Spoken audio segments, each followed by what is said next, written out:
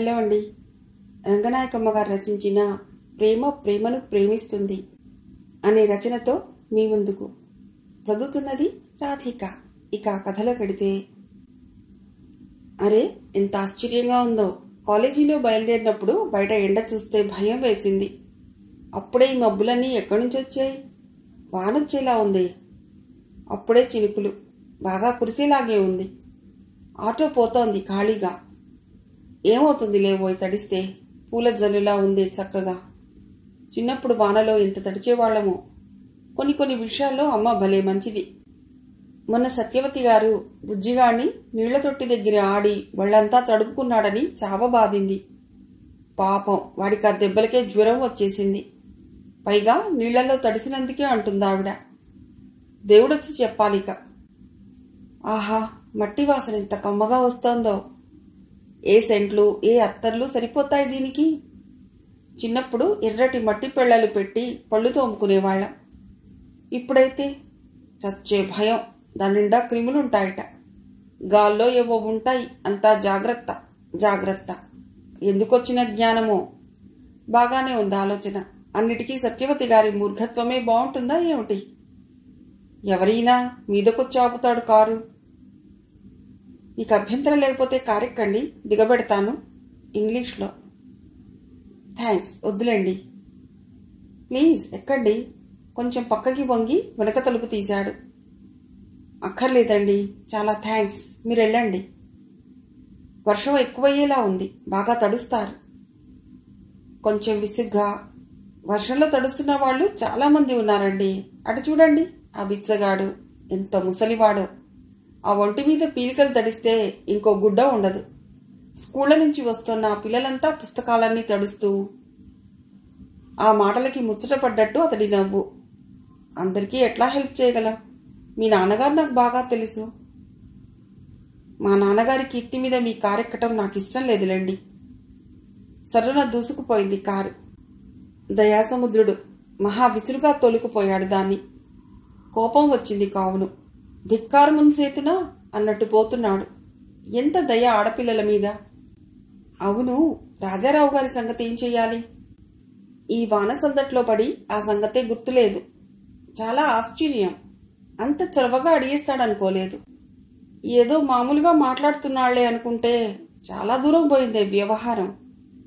సుజాత కన్నా కుసుమ కన్నా అందమైందా తను? పోనీ విశాల ఎంత తెలివైందో.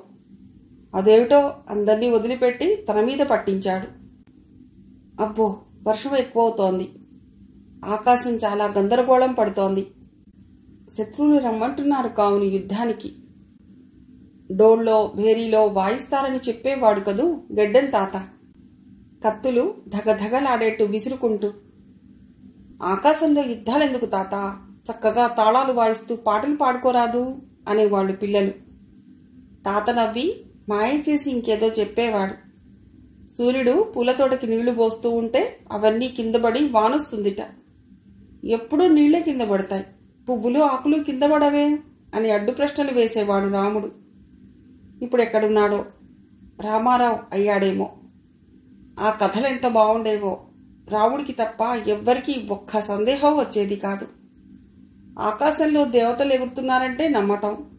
పాతాళంలో పిశాచాలు నిద్రపోతున్నాయంటే నమ్మటం. అలా నమ్మితే ఎంత బాగుండేదో. ఇప్పుడు ఎంత సైన్స్ తెలిసినా అప్పుడొచ్చే ఆనందంలో వందో వంతు రాదేం అందుకేనేమో మనుషులు మూఢనమ్మకాల్ని వదల్లేరు. వర్షంలో తడవటం బాగానే ఉంటుంది కానీ నడవటం ఇబ్బందేమో. అప్పుడే కుచ్చిళ్ళన్నీ తడిచి కాళ్ళకు అడ్డం పడుతున్నాయి. ఈ పాడు చీరలు పవిటలు వంటి చుట్టూ పూతరేకు మడతలల్లే ఎవరు పెట్టారు? ఇలా చుట్టుకోవాలని సోషలిస్టు దేశాల్లో ఆడామగ అందరూ ఒకే రకం డ్రెస్ వేసుకుంటారట. ముఖ్యంగా పనికి స్వేచ్ఛకి అడ్డురావు బట్టలు. మనం కూడా అలా మార్చుకోరాదు. అమ్మో చచ్చిపోతాం. మన చీరకట్టు సంస్కృతి అజంతా శిల్పసుందరి వరవళ్ళు మన పట్టు బెనారస్లు ఏ గంగలో ఆ పంజాబీ అమ్మాయి కొంత నయం సుఖంగా నడుస్తోంది. ఆ దుప్పట్టా అవతల పారేస్తే ఆ డ్రెస్ బాగానే ఉంటుంది. మొన్న ఆ డ్రెస్ కుట్టించుకోబోతే అమ్మ కేకలేసింది. అమెరికా వాళ్ళు కూడా మన చీరలనే మోజుపడుతున్నారు కాబట్టి మనం మన చీరలు ససేమిరా వదలకూడదంది. మనలాగా జిడ్డు సెంటిమెంట్లు లేవు వాళ్ళకి.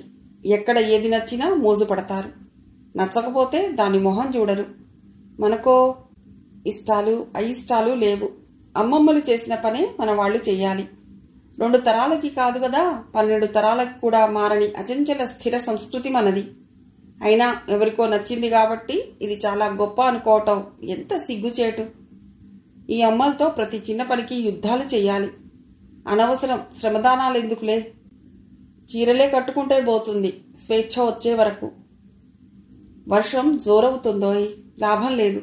చేతిలో ఈ పుస్తకాలు ఒకటి లైబ్రరీవి కూడా ఉన్నాయి. చెట్ల మీదికి పక్షులు చెట్ల కిందికి మనుషులు చేరుతున్నారు. ఇల్లంటూ ఉన్నవాళ్ళు ఎలాగో పోయి తలుపులు కిటికీలు బిగించుకుని వెచ్చగా కూర్చుంటారు. పాపం ఈ పేమెంట్ల మీద చెట్ల కింద జీవించే బిచ్చగాళ్ళు. జీవించటమా ఇది? జీవితం అనాలా దీన్ని? పక్షులకైనా లేని ఇంత దీనస్థితి దేవుడెవరో అన్నట్ట పిట్టలకి చెట్లున్నాయి నక్కలకి తొర్రలున్నాయి. ఏమీ లేని మనుషుల్లారా నా దగ్గరికి రండి అని పిలిచే అట్ట పక్షులకి జంతువులకి కూడా అక్కర్లేని దేవుడు మనుషుల్ని ఉద్ధరిస్తాట మాకు కూడా చక్కటి భవనాలున్నాయి. వానకి ఎండకి భయం లేని నివాసాలున్నాయి. నీ పనేదో నువ్వు చూసుకోబోయ్ అని బిచ్చగాళ్ళంతా చెప్పగలిగితే దూరపు కళ అన్నారెవరో. అవును ఇంకా ఎన్ని శతాబ్దాల దూరమో? ఇక లాభం లేదు. బట్టలు తల శుభ్రంగా తడిశాయి. ఈ భారత చీర చుట్టుకుని కాళ్ళు తడబడేట్టున్నాయి. ఈ పుస్తకాల్ని రక్షించాలి కదా? వాహనం ఎక్కక తప్పదు. ఏయ్ ఆటో. సుధా ఆటో దిగి గేట్ తీసుకుని తడిబట్టలతో నెమ్మదిగా నడుస్తూ ఇంట్లోకి వెళ్ళింది. తన గదిలో టేబుల్ మీద పుస్తకాలు ఆరబెట్టి స్టాండ్ మీద బట్టలు తీసుకుని బాత్రూంలోకి వెళ్ళి తలుపేసుకుంది. మళ్ళీ ఏదో జరిగినట్టుంది. ముందు గదిలో నాన్న తలెత్తి చూశాడే గాని మాట్లాడకుండా పేపర్లో మునిగాడు. అసలు ఈ వేళప్పుడు నాన్న పేపర్ చదవడు. పైగా ఈ వర్షంలో ఏ నవలన్నా చదువుకోక ఆ పిచ్చి రాజకీయాలు వీళ్ళకెలా నచ్చుతాయో. ఆ వియత్నాంలో అదేం యుద్ధమో దానికి ఎప్పటికన్నా అంతుందో లేదో. ఏమిటో రాస్తారు పేపర్ల నిండా సగం అబద్ధాలు. అర్థం కావు. ఏమీ తెలియకుండా తనకే ఇంత కోపం వస్తోంది అమెరికా మీద. ఎన్నో ధర్మపన్నాలు మాట్లాడే ప్రిన్సిపల్ అస్తమానము. స్టేట్స్ స్టేట్స్ అని పాట పాడతాడే? వెళ్తాడు కావును ఎప్పుడో. ఆ బంగ్లాదేశ్ వార్తలంటే చాలా ఇష్టంగా ఉండేది మొన్నటి వరకు. అక్కడ ఎంతోమంది ఆడవాళ్ళని ఇళ్ళలోంచి తరిమేశారట చెడిపోయారని. మనుషులు కూడా చెడిపోతారా? పళ్ళో కూరగాయలో చెడిపోయినట్టు? అన్నట్టు మనుషులంతా కాదు ఒక్క ఆడవాళ్ళే చెడిపోతారు. శత్రువు వచ్చి మీదపడి పెడరెక్కలు విరిచికట్టి బూటుకాలతో తన్ని తుపాకీలతో పొడిచినా ఏ మగాడు చెడిపోడు. పైగా వీరభక్తుడో దేశభక్తుడో అవుతాడు. సరిగ్గా అలాగే అంత నిస్సహాయంగానే ఆక్రోశిస్తూ శత్రువుల చేతుల్లో పడ్డ ఆడవాళ్ళు మాత్రం చెడిపోతారు. తల్లులు తోబుట్టువులు భార్యలు కూతుళ్ళు ఇహ పనికి రాకుండా అయిపోతారు. స్వతంత్రం తెచ్చుకున్నారంట ఎవరి కోసం ఏమీ తప్పులేని వాళ్ళ మీద వీళ్ళంతా చేసిన దౌర్జన్యం మాట ఏమిటి? స్వతంత్రం అంటే మనం లాక్కునేదేనా? ఇచ్చేది కాదు. పశువులు ఎంత గొప్పవో అసలు శత్రువులు ఎప్పుడు మన సిరి సంపదల మీదే కాదు మన నీతి మీద పవిత్రత మీద మనం గొప్పగా ఆరాధించుకునే విలువల మీద దెబ్బతీస్తాట మనల్ని అవమానించి మన ఆత్మాభిమానాన్ని గాయపరిచి మన జీవితాలు చిన్న భిన్నం చేయటమే వాడి లక్ష్యం అన్నమాట. అసలు మన విలువలు అంత అల్పమైనవి కాకపోతే ఎవరెంత కక్ష సాధించినా బలాత్కరించినా మన పవిత్రత మాయదనుకుంటే శత్రు సైనికుడి క్రూరత్వంతో అవమానపడ్డ స్త్రీని ఆమె భర్త ప్రేమతో అక్కున చేర్చుకుని కన్నీరు తుడిస్తే అబ్బో చాలా సంస్కారం కావాలి మనుషులకి దేశాలకి. బాత్రూంలోకి వస్తుంటే అమ్మ చూసినట్టే ఉందే. అలా తడిసామేమిటి అనాల్సిందే. సుబ్బులు కూడా మొహం ఎత్తకుండా పనిచేస్తోంది. ఏం జరిగిందో మరి? ఏదో జరుగుతూనే ఉంటుంది. పోట్లాటలు కల్పించుకోవటమే లక్ష్యం కొందరికి. ఏ చిన్న కారణమైనా ప్రోత్సాహం ఇస్తుంది. ఇహ కష్టాలకేం కరువు. అమ్మ నాన్న అందరిలాంటి భార్యాభర్తలే అయినా పెద్దవాళ్ళెవరో చేసిన పెళ్ళైతే వాళ్ళది ఇంత ఆలోచించక్కర్లేదు. ప్రేమ వివాహం మరి. ప్రేమంటే మాటలా? సరిగ్గా అర్థం కాదు కానీ చాలా గొప్పదై ఉండాలి. అంత గొప్పదా? ఏమో నమ్మాలనిపించదు. అంత గొప్పదైతే రాజారావు గారు భలే ఆయన. ప్రేమ గీమా నసబెట్టకుండా తిన్నగా పెళ్ళిలోకి దిగాడు. మీలాంటి అమ్మాయి కోసమే మీలాంటి అనేశాడు. అంత చనువెందుకో? నాలాంటే గాని నేను కాదు కదా మాస్టారు? అని నవ్వితే ప్లీజ్ సుధా ఈ విషయం సీరియస్గా ఆలోచించండి మీరు. తర్వాత మనం మాట్లాడుకుందాం. ఎప్పుడు?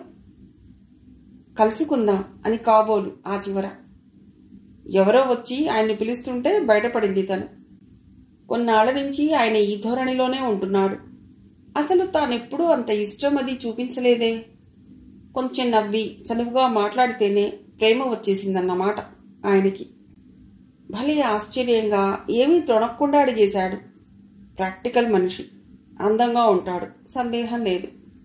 మంచివాళ్ళాగానే కనిపిస్తున్నాడు. మరి అంత కోరి తనే ప్రేమించి చచా ప్రేమేమిటి? అబద్ధాలో అబద్ధం అది. ఎన్నాళ్ళు నిలుస్తుంది? నిలుపుకోవటం చేతనైతే జీవితాంతం నిలుస్తుందేమో. పిచ్చి నమ్మకూడదు. చేత కాకేనా? ఇన్ని చికాకులు పడేది అందరూ అవునోయ్ నిజంగా చేత కాకే. మరైతే తనకి మాత్రం ఏం చేతనవుతుంది? మహామహా వాళ్ళకే అసాధ్యం అది. రాజారావు గారిని అడిగితే సరి. ఏమండి మీకు ప్రేమ నిలుపుకోవటం చేతనవుతుందా అని. పాపం తెల్లమొహం వేస్తాడు మానవుడు. వాన ఎంత కురిసినా చలేయటం లేదే. వాన చప్పుడు ఎంత బాగుంటుందో. ఏం టిఫినో ఇవాళ? దంచేస్తోంది ఆకలి. బాత్రూంలోంచి బయటకొచ్చి సుధా పొడి టవల్తో తల తుడుచుకుంటూ వంటింట్లోకి వెళ్ళబోయింది. భోజనాల బల్ల మీద ప్లేట్లన్నీ మూతలు పెట్టి ఉన్నాయి. ఒక కుర్చీలో కూర్చుని ప్లేట్ దగ్గరికి తీసుకుంది. మూత తీసి చూస్తే ఉప్మా. చూడటానికి భలే అందంగా ఉంది. రాజారావు గారిలాగా. రుచి ఎలా ఉందో కానీ నాన్న ఇంకా పేపరేనా? గొప్ప సంగతి. అమ్మా చంద్రశేఖర్ రాలేదా? వచ్చి వెళ్ళాడా? రెండు నిమిషాలైనా జవాబు లేదు. అమ్మకి బాగానే వినిపించింది మరి. అంటే అమ్మకి మాట్లాడాలని లేదన్నమాట. పోన్లే అదే మంచిది. ఎవ్వరూ ఎప్పుడూ ఇష్టం లేని పనులు చేయకూడదు. అతని ఇంటర్వ్యూ ఏమైందో? ఎంత ఆశతో వెళ్ళాడో? అంతంత చదువులు చదివి ఉద్యోగాలు ఇమ్మని ముష్టివాళ్ళ మళ్ళీ యాచించటం. ప్రతి నిరుద్యోగి ప్రతి నిమిషం ఎంత క్షోభ ఎంత ఆత్మహింస భరిస్తున్నాడో. చాలా అనుభవాలు ఊహకి అందవు. చెంచాతో ఉప్మాలోంచి పచ్చిమిరపకాయ ముక్కలు వెతుకుతోంది సుధా. ఇల్లంతా ఇంత నిశ్శబ్దంగా సుబ్బులకి ఇష్టమైన సిలోన్ తెలుగు పాట కూడా పెట్టకుండా. అసలు ఏమైంది వాళ్ళ ఫస్ట్ తారీఖు కూడాను ఇద్దరికీ జీతాలు వస్తాయి చాలా సరదాగా ఉండే రోజు. అంత గొప్పగా ప్రేమించుకున్న వాళ్ళకి కష్టాలేనా జీవితంలో? పోనీ ఆ వెంకట్రామయ్య గారు పార్వతమ్మ గారు పోట్లాడుకున్నారంటే ఆయనకి చాలా ఆస్తి ఉందని ఈవిడ పెద్దలు ఈవిడ బాగా కట్నం నగలు పట్టు చీరలు తెస్తుందని ఆయన పెద్దలు పెళ్ళి చేశారు. మనిషికి మనిషికి జరిగిన పెళ్ళి కాదది. వీళ్ళ డబ్బుకి వాళ్ళ డబ్బుకి అన్నమాట. ఆ డబ్బంతా తగలేస్తాడాయన. అందులో గొప్ప నేర్పరిట. ఆ నేర్పు ఆవిడకే నచ్చదు. తిడుతుంది. కొడతాడు. ఇంకా తిడుతుంది. ఇంకా కొడతాడు. సరే అదంతా నిత్యం సూర్యుడు తూర్పున ఉదయించినంత సహజంగా జరిగిపోతుంది. గమ్మత్తేమిటంటే ఆవిడెప్పుడొచ్చినా ఓ కొత్తనగా పట్టుకొచ్చి మా వారు నా కోసం కొన్నారు అంటుంది. మా వారు నాకు ఇవాళ కడుపు నిండా అన్నం పెట్టారు. ఓ గ్లాస్ మంచీళ్ళు కూడా ఇచ్చారు. అంటే ఎలా ఉంటుంది? ఆవిడ మాటలన్నీ అమ్మకి బాగానే ఉంటాయి. రాధత్తయ్య మేనత్త కొడుకేనట వాళ్ళ ఆయన ఎంత చక్కగానో ఉండొచ్చునా? ఎంత ఘోరంగా ఉండటానికి వీలుందో రీసెర్చ్ చేస్తున్నారు. ఇంకెంత కనిపెట్టేస్తారు వాళ్ళ కృషి దీక్ష అలాంటివి? జోగారావు గారు గారు కూడా ఎందుకు దండగా? ఆయనవన్నీ వెధవ దరిద్ర బుద్ధులండి అంటుంది వాళ్ళ ఆవిడ ఆవిడెప్పుడూ పుట్టింట్లో ఉంటుంది. ఈయనెప్పుడూ ఊళ్ళ మీద తిరుగుతాడు. ఆ వెధవ దరిద్ర బుద్ధుల గూఢార్థమేమిటో చాలా కాలం అర్థం కాలేదు. ఆయన గొప్ప రసికుడన్నమాట. రసికుణ్ణి దరిద్రుడు అనొచ్చునా? ఈసారి అడగాలి తెలుగు మాస్టర్ని. అన్నపూర్ణ గారు అబ్బా ఎంత మూర్ఖమో ఆవిడ. లేచింది మొదలు మా కులం మా శాఖ మా గోత్రం అంటూ. కుల ప్రచారానికే ఈ లోకానికి వచ్చినట్టు కాళికాదేవి తన మీదే ఆ భారం మోపి పంపినట్టు మాట్లాడుతుంది. పోనీ ఇతరుల దగ్గర పర్వాలేదు. ఆవిడ భరించలేకపోతే స్నేహం మానేస్తారు. జీవితాంతం కలిసి ఉండవలసిన భర్త దగ్గర కూడా మా వంశంలో ఇలాంటి వెన్నడు ఎరుగంశమండి అసలు మా కుటుంబం మా తాతగారు అని ప్రారంభిస్తుంది. పోనీ నవ్వి ఊరుకోరాదు ఆయన? వినేవాళ్ళకి ఆసక్తి లేకపోతే ఆవిడ మాత్రం ఎన్నాళ్ళు వర్ణిస్తుంది? అసలు చాలా మందిని సినిమాలు చూసినట్టు చూసి ఆనందించాలి. ఆయనకి సినిమాలంటే ఇష్టమే. అందులోనూ టికెట్టు లేని సినిమా.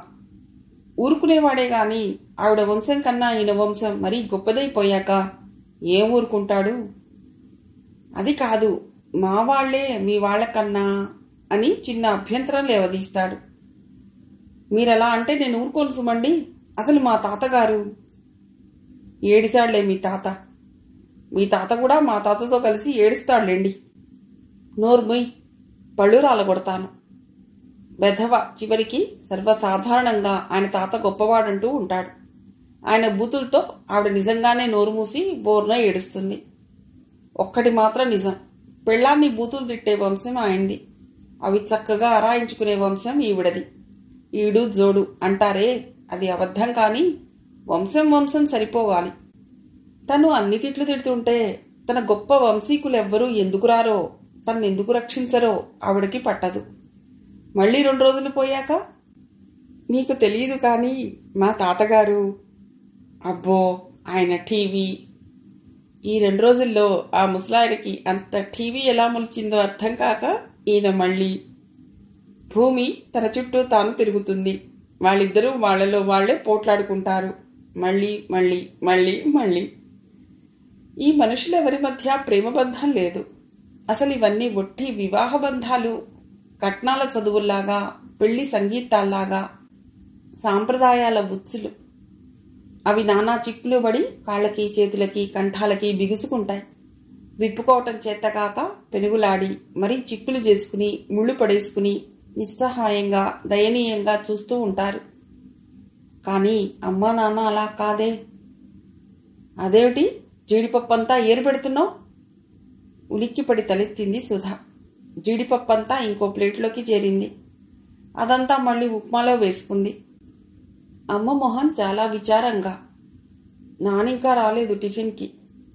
అమ్మ కూడా తినటం లేదు. మిగతా ప్లేట్లు అట్లాగే ఉన్నాయి. ఏమైందమ్మా? అనాలని మనసులో కదిలింది. ఏం లాభం? ఒక్కోసారి అమ్మ చెప్పదు. వాళ్ళ వ్యవహారాలు పిల్లలకి చెప్తే వాళ్ళ గౌరవానికి చాలా భంగం. మళ్ళీ పిల్లల మీద పెత్తనం చేయటానికి కేకలేయటానికి వీలుండదు. మనసు విప్పి పిల్లలకి చెప్పి వాళ్ళతో కష్టసుఖాలు పంచుకుందామని ఈ పెద్దవాళ్ళకి అనిపించనే అనిపించదు. పోనీ అడిగితే అమ్మ మనసు కొంచెం తేలిక పడుతుందేమో. నిజమే గాని తన మనసు చాలా బరువెక్కుతుంది. అమ్మ తప్పంతా నాన్న మీద చెప్తుంది. నాన్న తప్పంతా అమ్మ మీద చెప్తాడు చాలాసార్లు. ఎవ్వరూ కరెక్ట్ అనిపించరు. ఆ మాట అంటే ఇద్దరికీ కోపం వస్తుంది. ఎవరికి వాళ్ళే తమ పక్షానికి లాక్కోవాలని చూస్తారు. ఒక్కోసారి నాన్న చాలా మంచిగా ఉండి ఒక్కోసారి మహా మూర్ఖంలోకి దిగుతాడు. అమ్మ కూడా అలాగే ఒక్కోసారి దేవతలా కనబడి ఒక్కోసారి రాక్షసంగా ప్రవర్తిస్తుంది. అమ్మ ఆఫీస్ నుంచి ఆలస్యంగా వస్తే నాన్నకి కోపం వచ్చేస్తుంది. ఏం ఆలస్యంగా వస్తే? ఆవిడకి స్నేహితులు సరదాలు ఉండవు. నాన్న డబ్బెక్కువ ఖర్చు పెడితే అమ్మ రుసరుసలాడుతుంది. డబ్బు ఖర్చు పెట్టుకోవటానికి కాక ఇంకేం చేసుకుంటారు? ఎవరి పని ఎందుకు చేశారో శాంతంగా ఆలోచించుకోరు. ఒకరు చెప్పే కారణాలు ఇంకొకరు నమ్మరు ఆమోదించరు. అసలు ఒకరి ప్రవర్తన మీద ఒకరికి గౌరవం ఉండదు. కత్తులతో శూలాలతో విసిరినట్టు మాటలు విసురుకుంటారు. రెండో వాళ్ళు విలవిలలాడేట్టు. ఒక్కోసారి ఇద్దరూ బద్ధశత్రువులాగా ఒకరి బాధ ఇంకొకరికి ఆనందం కలిగేలాగా ఒకరిని ఒకరు హతమార్చేలాగా. అలాంటి వ్యక్తులు భార్యాభర్తలా జీవన సహచరులా. అంతేకాదు ప్రేయసీ ప్రియులు ఇరవై ఏళ్ళ కిందట. ఇద్దరూ ఒకరి కోసం ఒకరు. మీ నాన్న చూడు టిఫిన్ చేయకుండానే వెళ్ళినట్టున్నారు. అని పరాగ్గా తలెత్తి అని తలదించేసుకుంది సుధా. అమ్మకి తనతో మాట్లాడాలని చాలా ఇదిగా ఉంది ఇప్పుడు. ఒక్క మాట అడిగితే అంతా చెప్పేస్తుంది. ఇప్పుడేం వినాలని లేదు. కొందరు మనుషులు ఎదుటి వాళ్ళని రేడియోలాగా ఉపయోగించుకుంటారు. తమకి వినాలని ఉన్నప్పుడు మాత్రమే రేడియోని ఆన్ చేసినట్టు పలుకరించి అక్కర్లేనప్పుడు చంద్రశేఖర్ ఇంకా రాలేదేం? ఈ పూట నుంచే ఉద్యోగం చేసేస్తున్నాడో ఏమిటో? తల్లకిందులుగా ఎంత చక్కగా పాకుతుందో చీమ గోడ మీద. బల్ల మీదికి దిగింది పాపం ఆకలేస్తోందేమో. అరే గాబరాపడి వెనక్కి తిరిగి గోడెక్కుతోంది. టేబుల్ దానికి తల్లకిందులుగా ఉంది గావును. నాన్న వ్యవహారంలాగా. వీడికి కూడా ప్రేమలు వర్ణాంతరాలు ఆఫీసులు కోపాలు. వాన బాగా తగ్గిపోయిందే. నాన్న క్లబ్కి వెళ్ళిపోయాడన్నమాట. కోపం వస్తే అన్నం మానేయటం టిఫిన్ మానేయటం అలక బెదిరింపు సిల్లి. దేనికి నిజంగా బాధపడాలో దేని సమస్యగా పట్టించుకోవాలో ఎంత వయసు వచ్చినా తెలియటం లేదు ఆయనకి. అందరిలాంటి వాళ్ళు కారే అదే ఆశ్చర్యం. తనకి రెండేళ్ళ కిందటెప్పుడో అమ్మా నాన్న ఏదో వ్రతం చేసినప్పుడు పీటల మీద కూర్చున్న వాళ్ళని చూసి ఆది దంపతుల్లా ఉన్నారు సీతారాముల్లా ఉన్నారు అని మెచ్చుకున్నారు చాలామంది. ఆది దంపతులు పోటాడుకుంటారో లేదో సీత ఆఫీస్ నుంచి ఆలస్యంగా వస్తే రావుడేం చేసేవాడు? లక్ష్మణ ఈమెని మేలెక్కించిరా అంటాడేమో. అది చాలా నయం చెవిలో జోరీగా మళ్ళీ సాధించే కన్నా. అసలు అమ్మని పెళ్ళి చేసుకోవటానికి వీలు కాకపోతే ఆత్మహత్య చేసుకుందాం అనుకున్నట్ట నాన్న. ఎంత గొప్పగా ప్రేమించాడో చాలా గౌరవం కలుగుతుంది తలుచుకుంటే. అమ్మకి మేనరిక ఉందిట. నాన్నకి వేరే పెళ్ళైతే బాగా కట్నం వచ్చేదిట. పైగా కులాల్లో తేడా. నూతిలో కాళ్ళు పెట్టు కూర్చుందిట నాన్న తల్లి. అమ్మ వెనకాల ఎన్నో హెచ్చరికలు కాపలాలు. పాపం ఎంత క్షుభపడ్డారో ఇద్దరు. ప్రేమ అనేది నిజమేనేమో. ప్రేమకి ఏ హద్దులు ఆంక్షలు లాభం లేదుట. లేకపోతే అంత సాహసం ఎలా వస్తుంది? ఆ రోజుల్లో వర్ణాంతర వివాహం అంటే? అసలు వర్ణాంతర ఏమిటి? శుద్ధ తప్పు. వర్ణరహిత అనాలి. కులాలు మతాలు పూర్తిగా లేవనుకోవాలి. లేవనే చెప్తారు పైకి. అమ్మా నాన్న చెప్పటం లేదు. ఆ ప్రేమాకర్షణలో అవేం లేవనుకున్నారు గాని ఇద్దరి మనసుల్లోనూ ఉన్నాయి ఆ చాదస్తాలు. అమ్మ నాన్న కులం గురించి ఎవరికీ చెప్పదు. ఆ మాటే మర్చిపోయింది. ఎవరికన్నా చెప్పవలసి వస్తే బ్రాహ్మణం అంటుంది. నాన్న ఒప్పుకుంటాడు. నాన్నకు కూడా అదే ఇష్టం. తను వెళ్ళి గొప్ప కులంలో కలిసినందుకు గర్వపడుతోన్నట్టు కనిపిస్తాడు. అమ్మ బొత్తిగా అవసరం లేని సమయంలో కూడా ఏదో వీలు చేసుకుని మా బ్రాహ్మణలో పొట్లకాయ పచ్చడి ఇలాగే చేస్తారు అనేది. మా బ్రాహ్మణలో సంగీతం అంటే పడిచొస్తారు. మా బ్రాహ్మణలో అని అమ్మ బ్రాహ్మణ పాట పాడుతుంటే నాన్న ఎంత చక్కగా వంత పాడతాడో. ఒక్కోసారి ఏం జరుగుతుందో చాలా విసుక్కుంటాడు. అస్తమానము ఎందుకా మాటలు? అంటాడు. ఒక్కోసారి ఇంకా కోపం తెచ్చుకుని. అబ్బా ఎన్నాళ్ళు మభ్యపెట్టారో తనని. బొంబాయి రేఖ కొత్తగా స్కూల్లోకి వచ్చినాడు.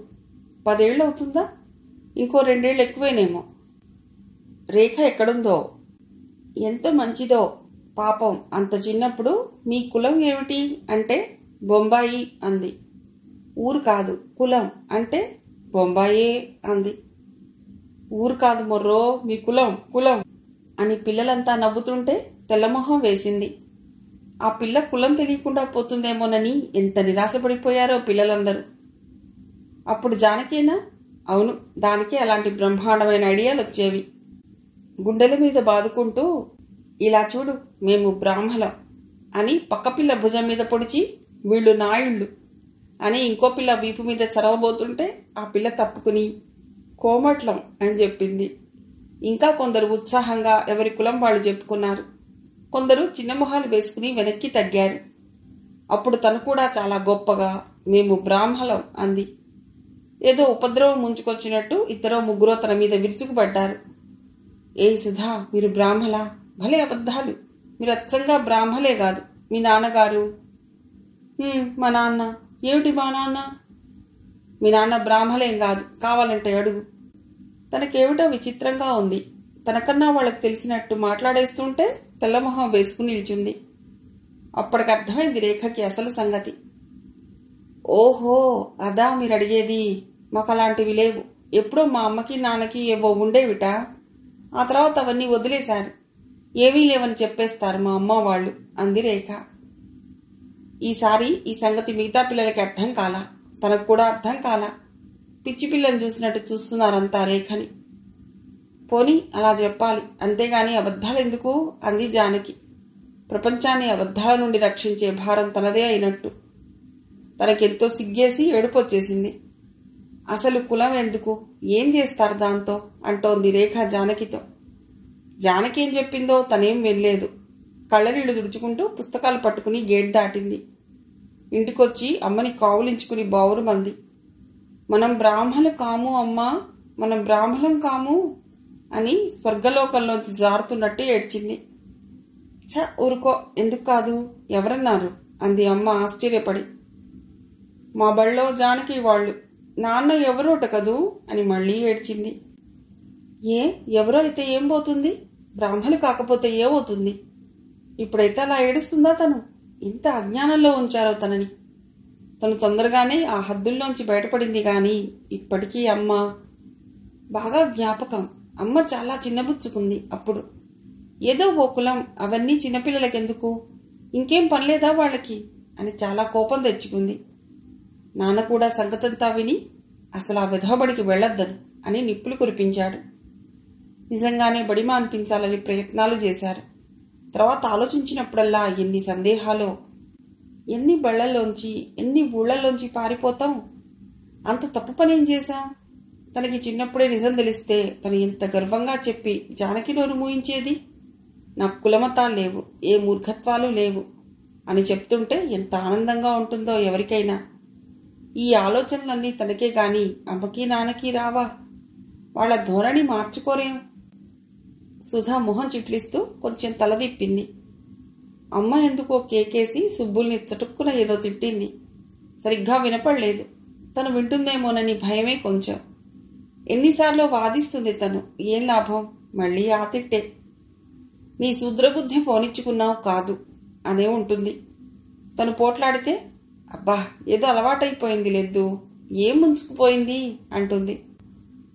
ఏదో ముంచుకుపోతూ ఉండాలన్నమాట ప్రతిదానికి. ఛ ఈ మనిషి?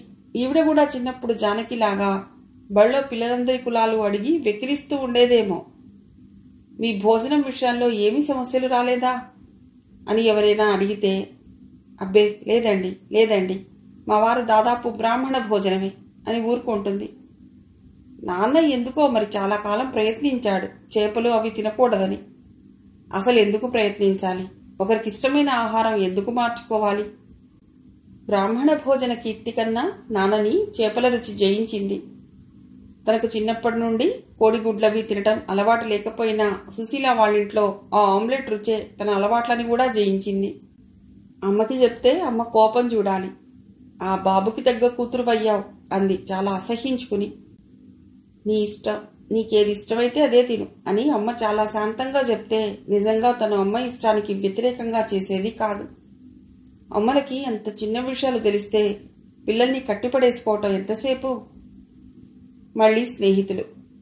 ఇతరులో ఎవరన్నా పలకరిస్తే ఎన్ని కబుర్లో? వర్ణాంతర వివాహం సంఘ సంస్కారం సింగినాదం బోలెడు. ఇదిగో అమ్మాయి ఇంత తలబద్దలు కొట్టుకోవడం ఎందుకు? వర్ణాంతర వివాహానికి అర్థం కులాల మూర్ఖత్వం నుండి బయటపడటం కాదు. చిన్న కులం చాలా వినయంగా పెద్ద కులం ముందు మోకరిల్లుతుంది.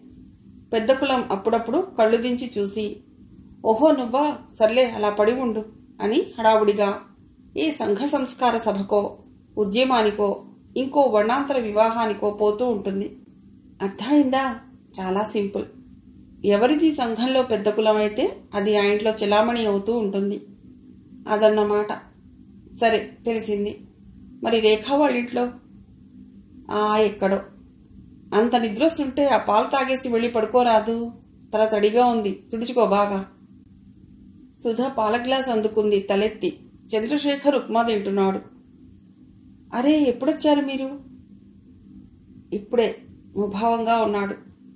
రెండు నిమిషాల్లో కాఫీ కూడా పూర్తి చేసి వెళ్ళిపోయాడు గదిలోకి.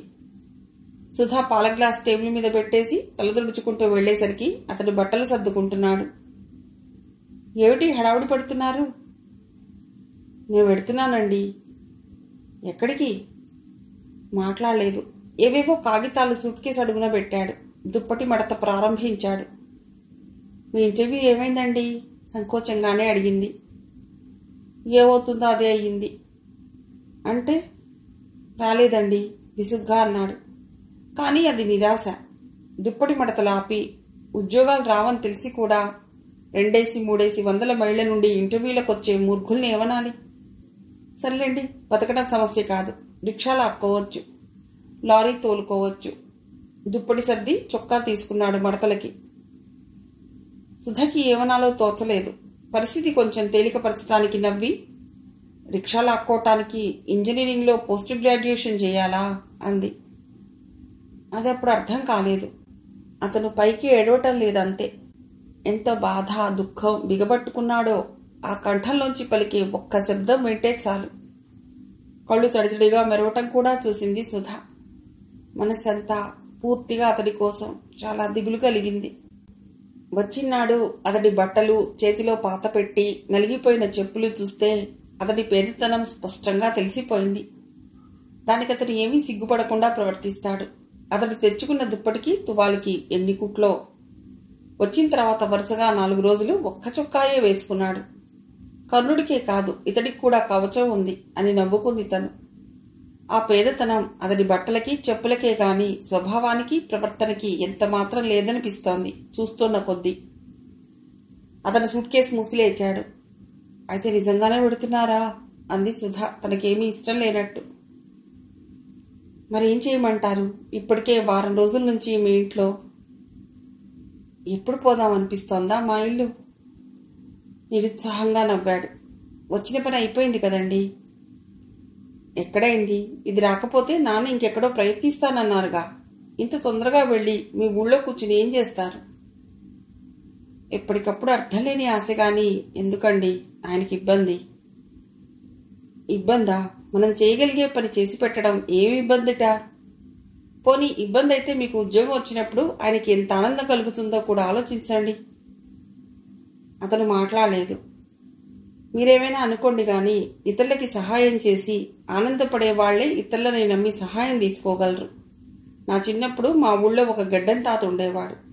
మమ్మల్ని అందరినీ ఎప్పుడూ ఎత్తుకుంటూ నవ్విస్తూ ఆడిస్తూ సంతోషపడేవాడు. కళ్ళలో నలక తీసి కాల్లో ముళ్ళు తీసి. బాగుందా ఇప్పుడు? నొప్పిపోయిందా ఇప్పుడు? అని అడిగి అడిగి సంతృప్తి పడేవాడు. అసలు సహాయం అన్న మాట వస్తే నాకెప్పుడూ ఆ తాత గుర్తొస్తాడు. మనం చేసేవి కూడా సహాయాలేనా? చంద్రశేఖర్ చాలా మొహమాటంగా రేపు వెళ్తాంలేండి అన్నాడు. సుధ కొంచెం నవ్వి రేపటికి జరిగారు కదా అంది. కాదులేండి రేపు వెళ్ళిపోవాలి.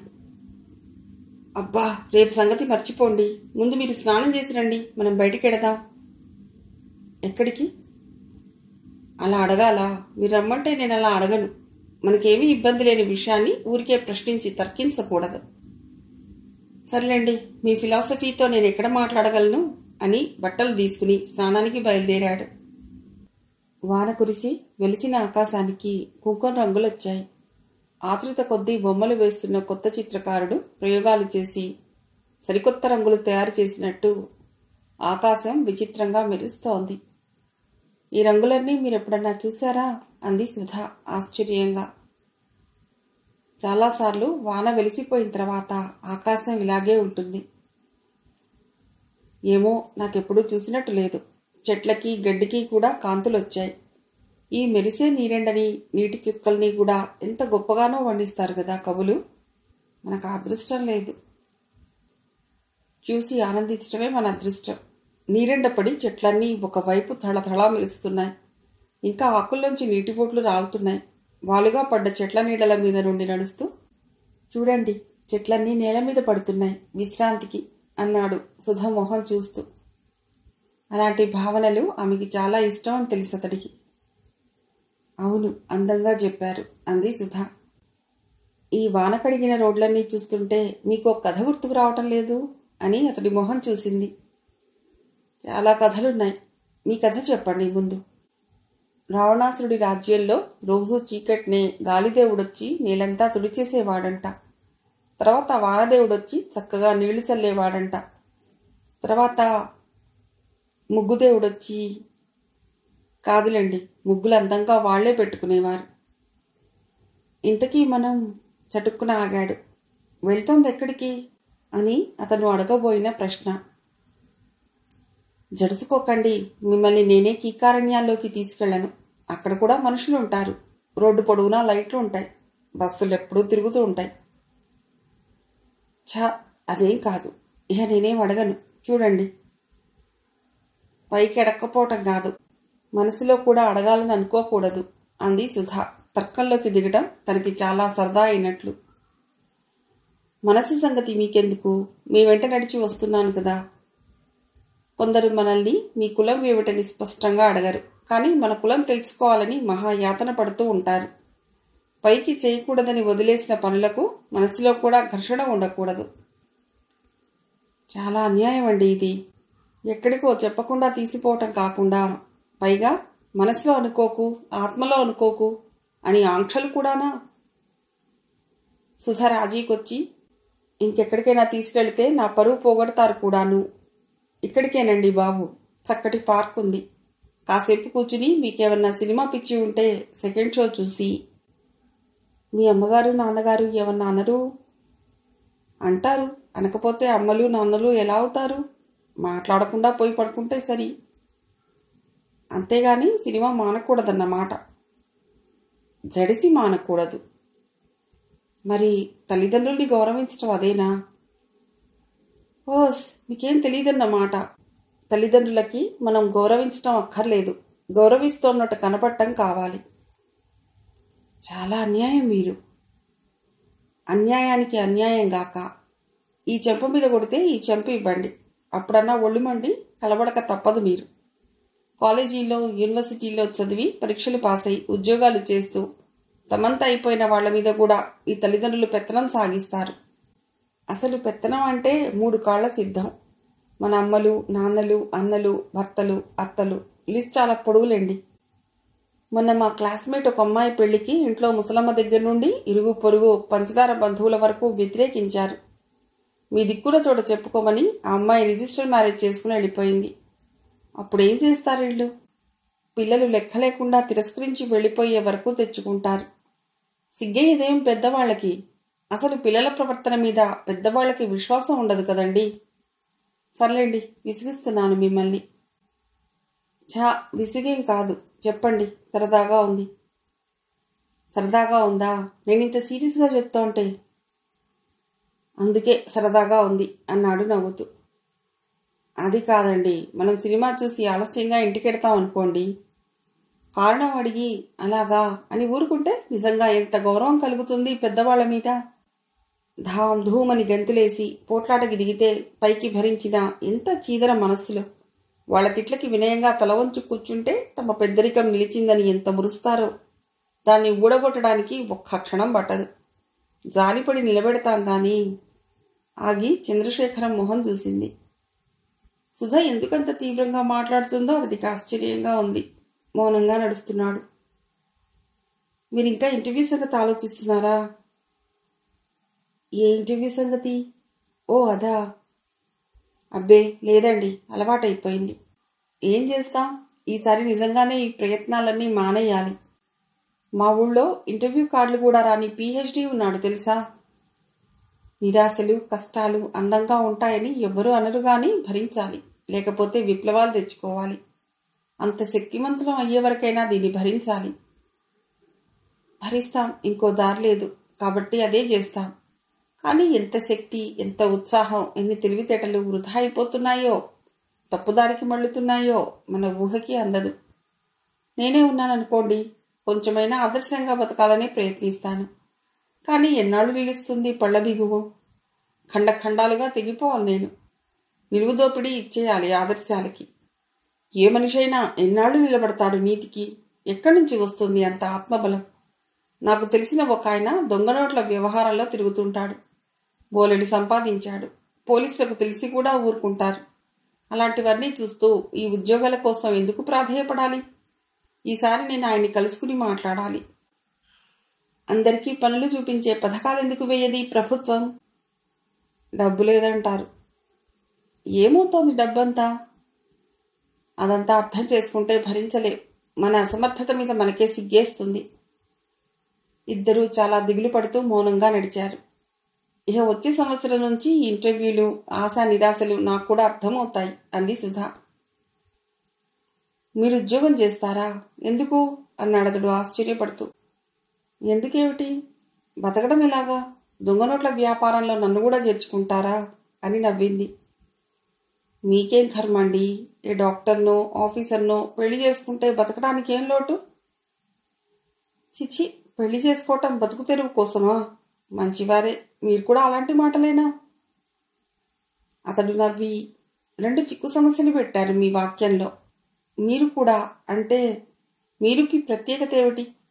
అలాంటి మాటలేనా? అంటే ఆ మాటల్లో దుష్టత్వం ఏమిటి? చెప్పండి ముందు అన్నాడు.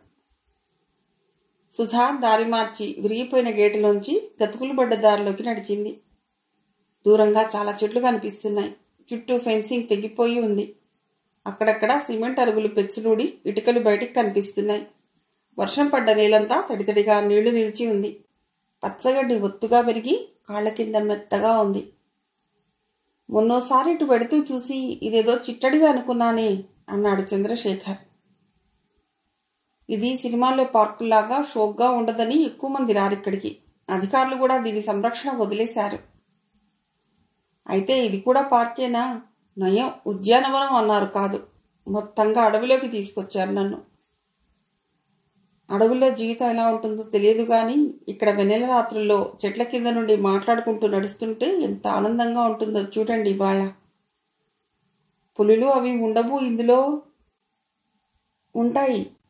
మొన్న జూ నుంచి ఒక సింహం తప్పించుకుని వచ్చి ఇందులో పడింది అంటున్నారు. మీరు వేటాడతారనే తీసుకొచ్చాను. చెట్ల కింద నేల కొంత పొడిగా ఉంది. చాలా దూరం నడిచి మంచి చోటు చూసి కూర్చున్నారు ఇద్దరు. చెట్టు కొమ్మల పైనుండి ఆకాశం కనపట్టం లేదు. వెన్నెల అక్కడక్కడా జారుతోంది. సుధ వెన్నెల్లోకి జరిగి కూర్చుంది. అసలు మీకు విషయం చెప్పాలని బయలుదేరాను. మధ్యలో రావణాసురుడు వచ్చాడు. వదిలేశాంగా ఆయన్ని? అయితే చెప్పండి తొందరగా. నాకు అసలే దడగా ఉంది. ఈ కారడవిలో కూర్చోవటం మీ ప్రాణానికి నా ప్రాణం అడ్డు. సింహం వస్తే ముందు నన్ను తిని. తర్వాతైనా నన్ను తింటుంది కదా. అంతలో పారిపోలేరు మీరు. అది నా వైపు నుండి వస్తే అప్పుడు ఇబ్బందే మరి అని నవ్వింది. చూసారా అంచేత మీ వాగ్దానాలు నమ్మి కూర్చున్నాననుకోండి. కానివ్వండి. ఏదో చెప్తానన్నారుగా. ఉపోద్ఘాతాలు ముందు మాటలు ఏమీ లేకుండా చెప్పేనా? చెప్పేయండి. అవన్నీ నేను రాసుకుంటాను. అయితే సరే మా ఊళ్ళో ఓ పంతులు గారు ఉన్నారు. అంటే అర్థమైందా? మీ కాలేజీలో లెక్చరర్ అన్నమాట. పాపం ఆయన ఏం చేయబోతున్నారు?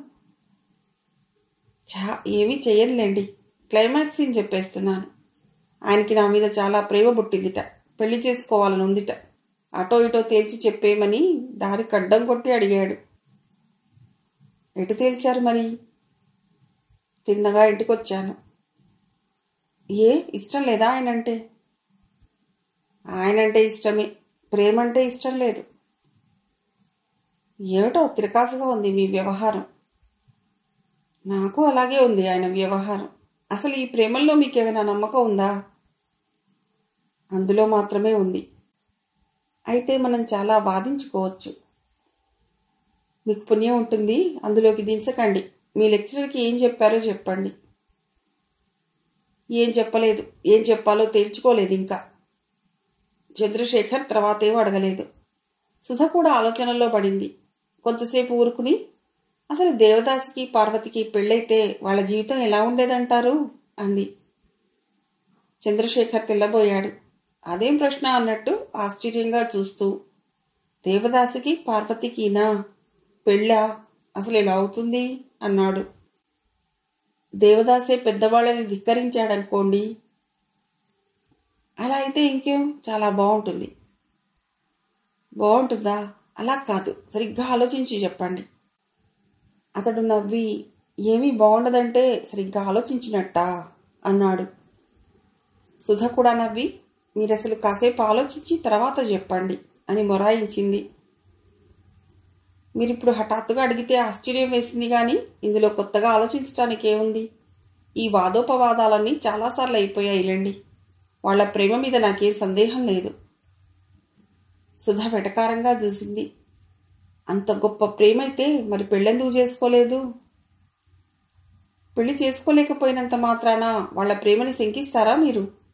అని కొంచెం విసుక్కుని వెంటనే తమాయించుకుని ప్రేమకి సార్థకత కలిసి జీవించటమే అనుకోండి. కానీ అది అసంభవమైతే మనస్సుల్లో ప్రేమంత అబద్ధమేనా? దేవదాసు పార్వతి విడిపోయారని నాకెప్పుడో అనిపించదు అని ఇక దానికి తిరుగులేదన్నట్టు ఊరుకున్నాడు. సుధా తెగ ఆశ్చర్యపడి విచిత్రంగా చూస్తూ వాళ్ళిద్దరూ విడిపోనే లేదు గదు? కలిసే ఉన్నారా? ఎక్కడా? అంతరాత్మల్లోనా? ఆహా ఏం వేదాంతం మాట్లాడుతున్నారండి? శరీరాలు విడిపోయి జీవితాలే వేరైపోయి ఇష్టం లేని కాపురాలు చేసి మనస్సు నిండా దుఃఖంతో యవ్వనమంతా మహా అసంతృప్తితో జన్మలే వృధా అయిపోతే ఎవరినో ఎక్కడో ప్రేమించామన్న ఊహ వల్ల ఒరిగే సుఖం ఏమిటో? మనస్సులో చాలా గొప్ప ప్రేమ కలిగి ఏ విధాన ఒకరి జీవితంతో ఒకరికి సంబంధం లేకుండా బతికితే ఒక్క క్షణమైనా శాంతి కలుగుతుందా? మరి దేవదాసు పార్వతి తమ ప్రేమనే తలుచుకుంటూ ఇద్దరం కలిసే ఉన్నాం అనే ఊహతో సుఖంగా ఉండలేకపోయారేం. ఈ ప్రేమించుకునే వాళ్ళంతా అమ్మల మీద నాన్నల మీద సంఘాల మీద తిరగబడి ఏడ్చి గోలబెట్టి ఆత్మహత్యలకు కూడా సిద్ధపడతారే? కలిసి జీవించాలని ఎంత కొట్టుకుంటారు? అదంతా అర్థం లేని వ్యవహారమేనా? మీ లెక్చరర్ని వదిలేసి ఇందులో పడ్డారేం అని నవ్వాడతడు. మీరలా తప్పించుకోకండి మరి. ఈ ప్రేమ వ్యవహారాల్లో నాకు చాలా సందేహాలు ఉన్నాయి దేవదాసు ప్రేమ మీద నేను వ్యాసం కూడా రాశాను. ఏం రాశారు? నవ్వుతూనే అడిగాడు. మీకేమిటో హేళనగా ఉంది నా రీసెర్చ్ మీద. మీరు నా సందేహాలన్నీ తీరిస్తే నా అభిప్రాయాలు మార్చుకుంటానుగా అని మళ్ళీ తర్కల్లోకి దిగింది. అసలు పార్వతి అంత సాహసంగా అర్ధరాత్రి వచ్చి అడక్కపోతే దేవదాస్కి ప్రేమ గీమ ఏం లేదు. ఇంకా చదువుకునేవాడు జమీందార్ల పిల్లని పెళ్ళి చేసుకునేవాడు.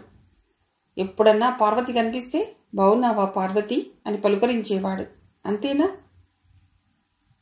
నేను అలా అనుకోను. పార్వతి వచ్చి అడక్కపోయినా సరే పార్వతికి పెళ్ళై వెళ్ళిపోయిన తర్వాత దేవదాసు మానసికంగా చాలా బాధపడేవాడు. ఆమెతో అతడికి ఆ రకం స్నేహం ఉంది ఆత్మీయత ఉంది ఇష్టం ఉంది. ఎన్ని ఉన్నా అదంతా ప్రేమ కాదు. చాలా తొందరగానే మర్చిపోయేవాడు. సరే అలాగే అనుకోండి. పోనీ పార్వతి అడిగిన తర్వాతే అతడికి ప్రేమ తెలిసింది. కొందరు చాలా చిన్నతనం నుండే ప్రేమని అనుభవిస్తారు.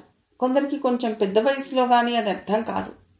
కొందరి జీవితంలో ఎన్నడూ దాన్ని ఎరుగరు. చిన్నప్పుడే ప్రేమ కలగకపోవటం దేవదాసు తప్ప. పార్వతి ఆ ప్రసక్తి ఎత్తకపోతే ఆమెను తొందరగా మర్చిపోతే తర్వాత ఇంకెవరి మీదన్నా అతడికి చాలా గాఢంగా ప్రేమ కలిగేదేమో? పార్వతే అతడి మనసులోకి ప్రేమ ఊహ తెచ్చింది. నిజమే.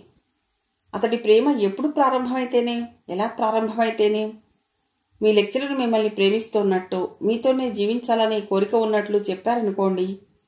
ఆ క్షణం నుండి ఎంతో కృతజ్ఞతతో మీకు అవతలి వ్యక్తి మీద ప్రేమ కలగవచ్చును కదా ఆ క్షణం నుండి ఒకరి కోసం ఒకరు తప్పించవచ్చును కదా ప్రేమని ఎవరో ఒకరే ముందు బయటపెడతారు. రెండో వారి తర్వాత దాని గురించి శ్రద్ధగా ఆలోచిస్తారు.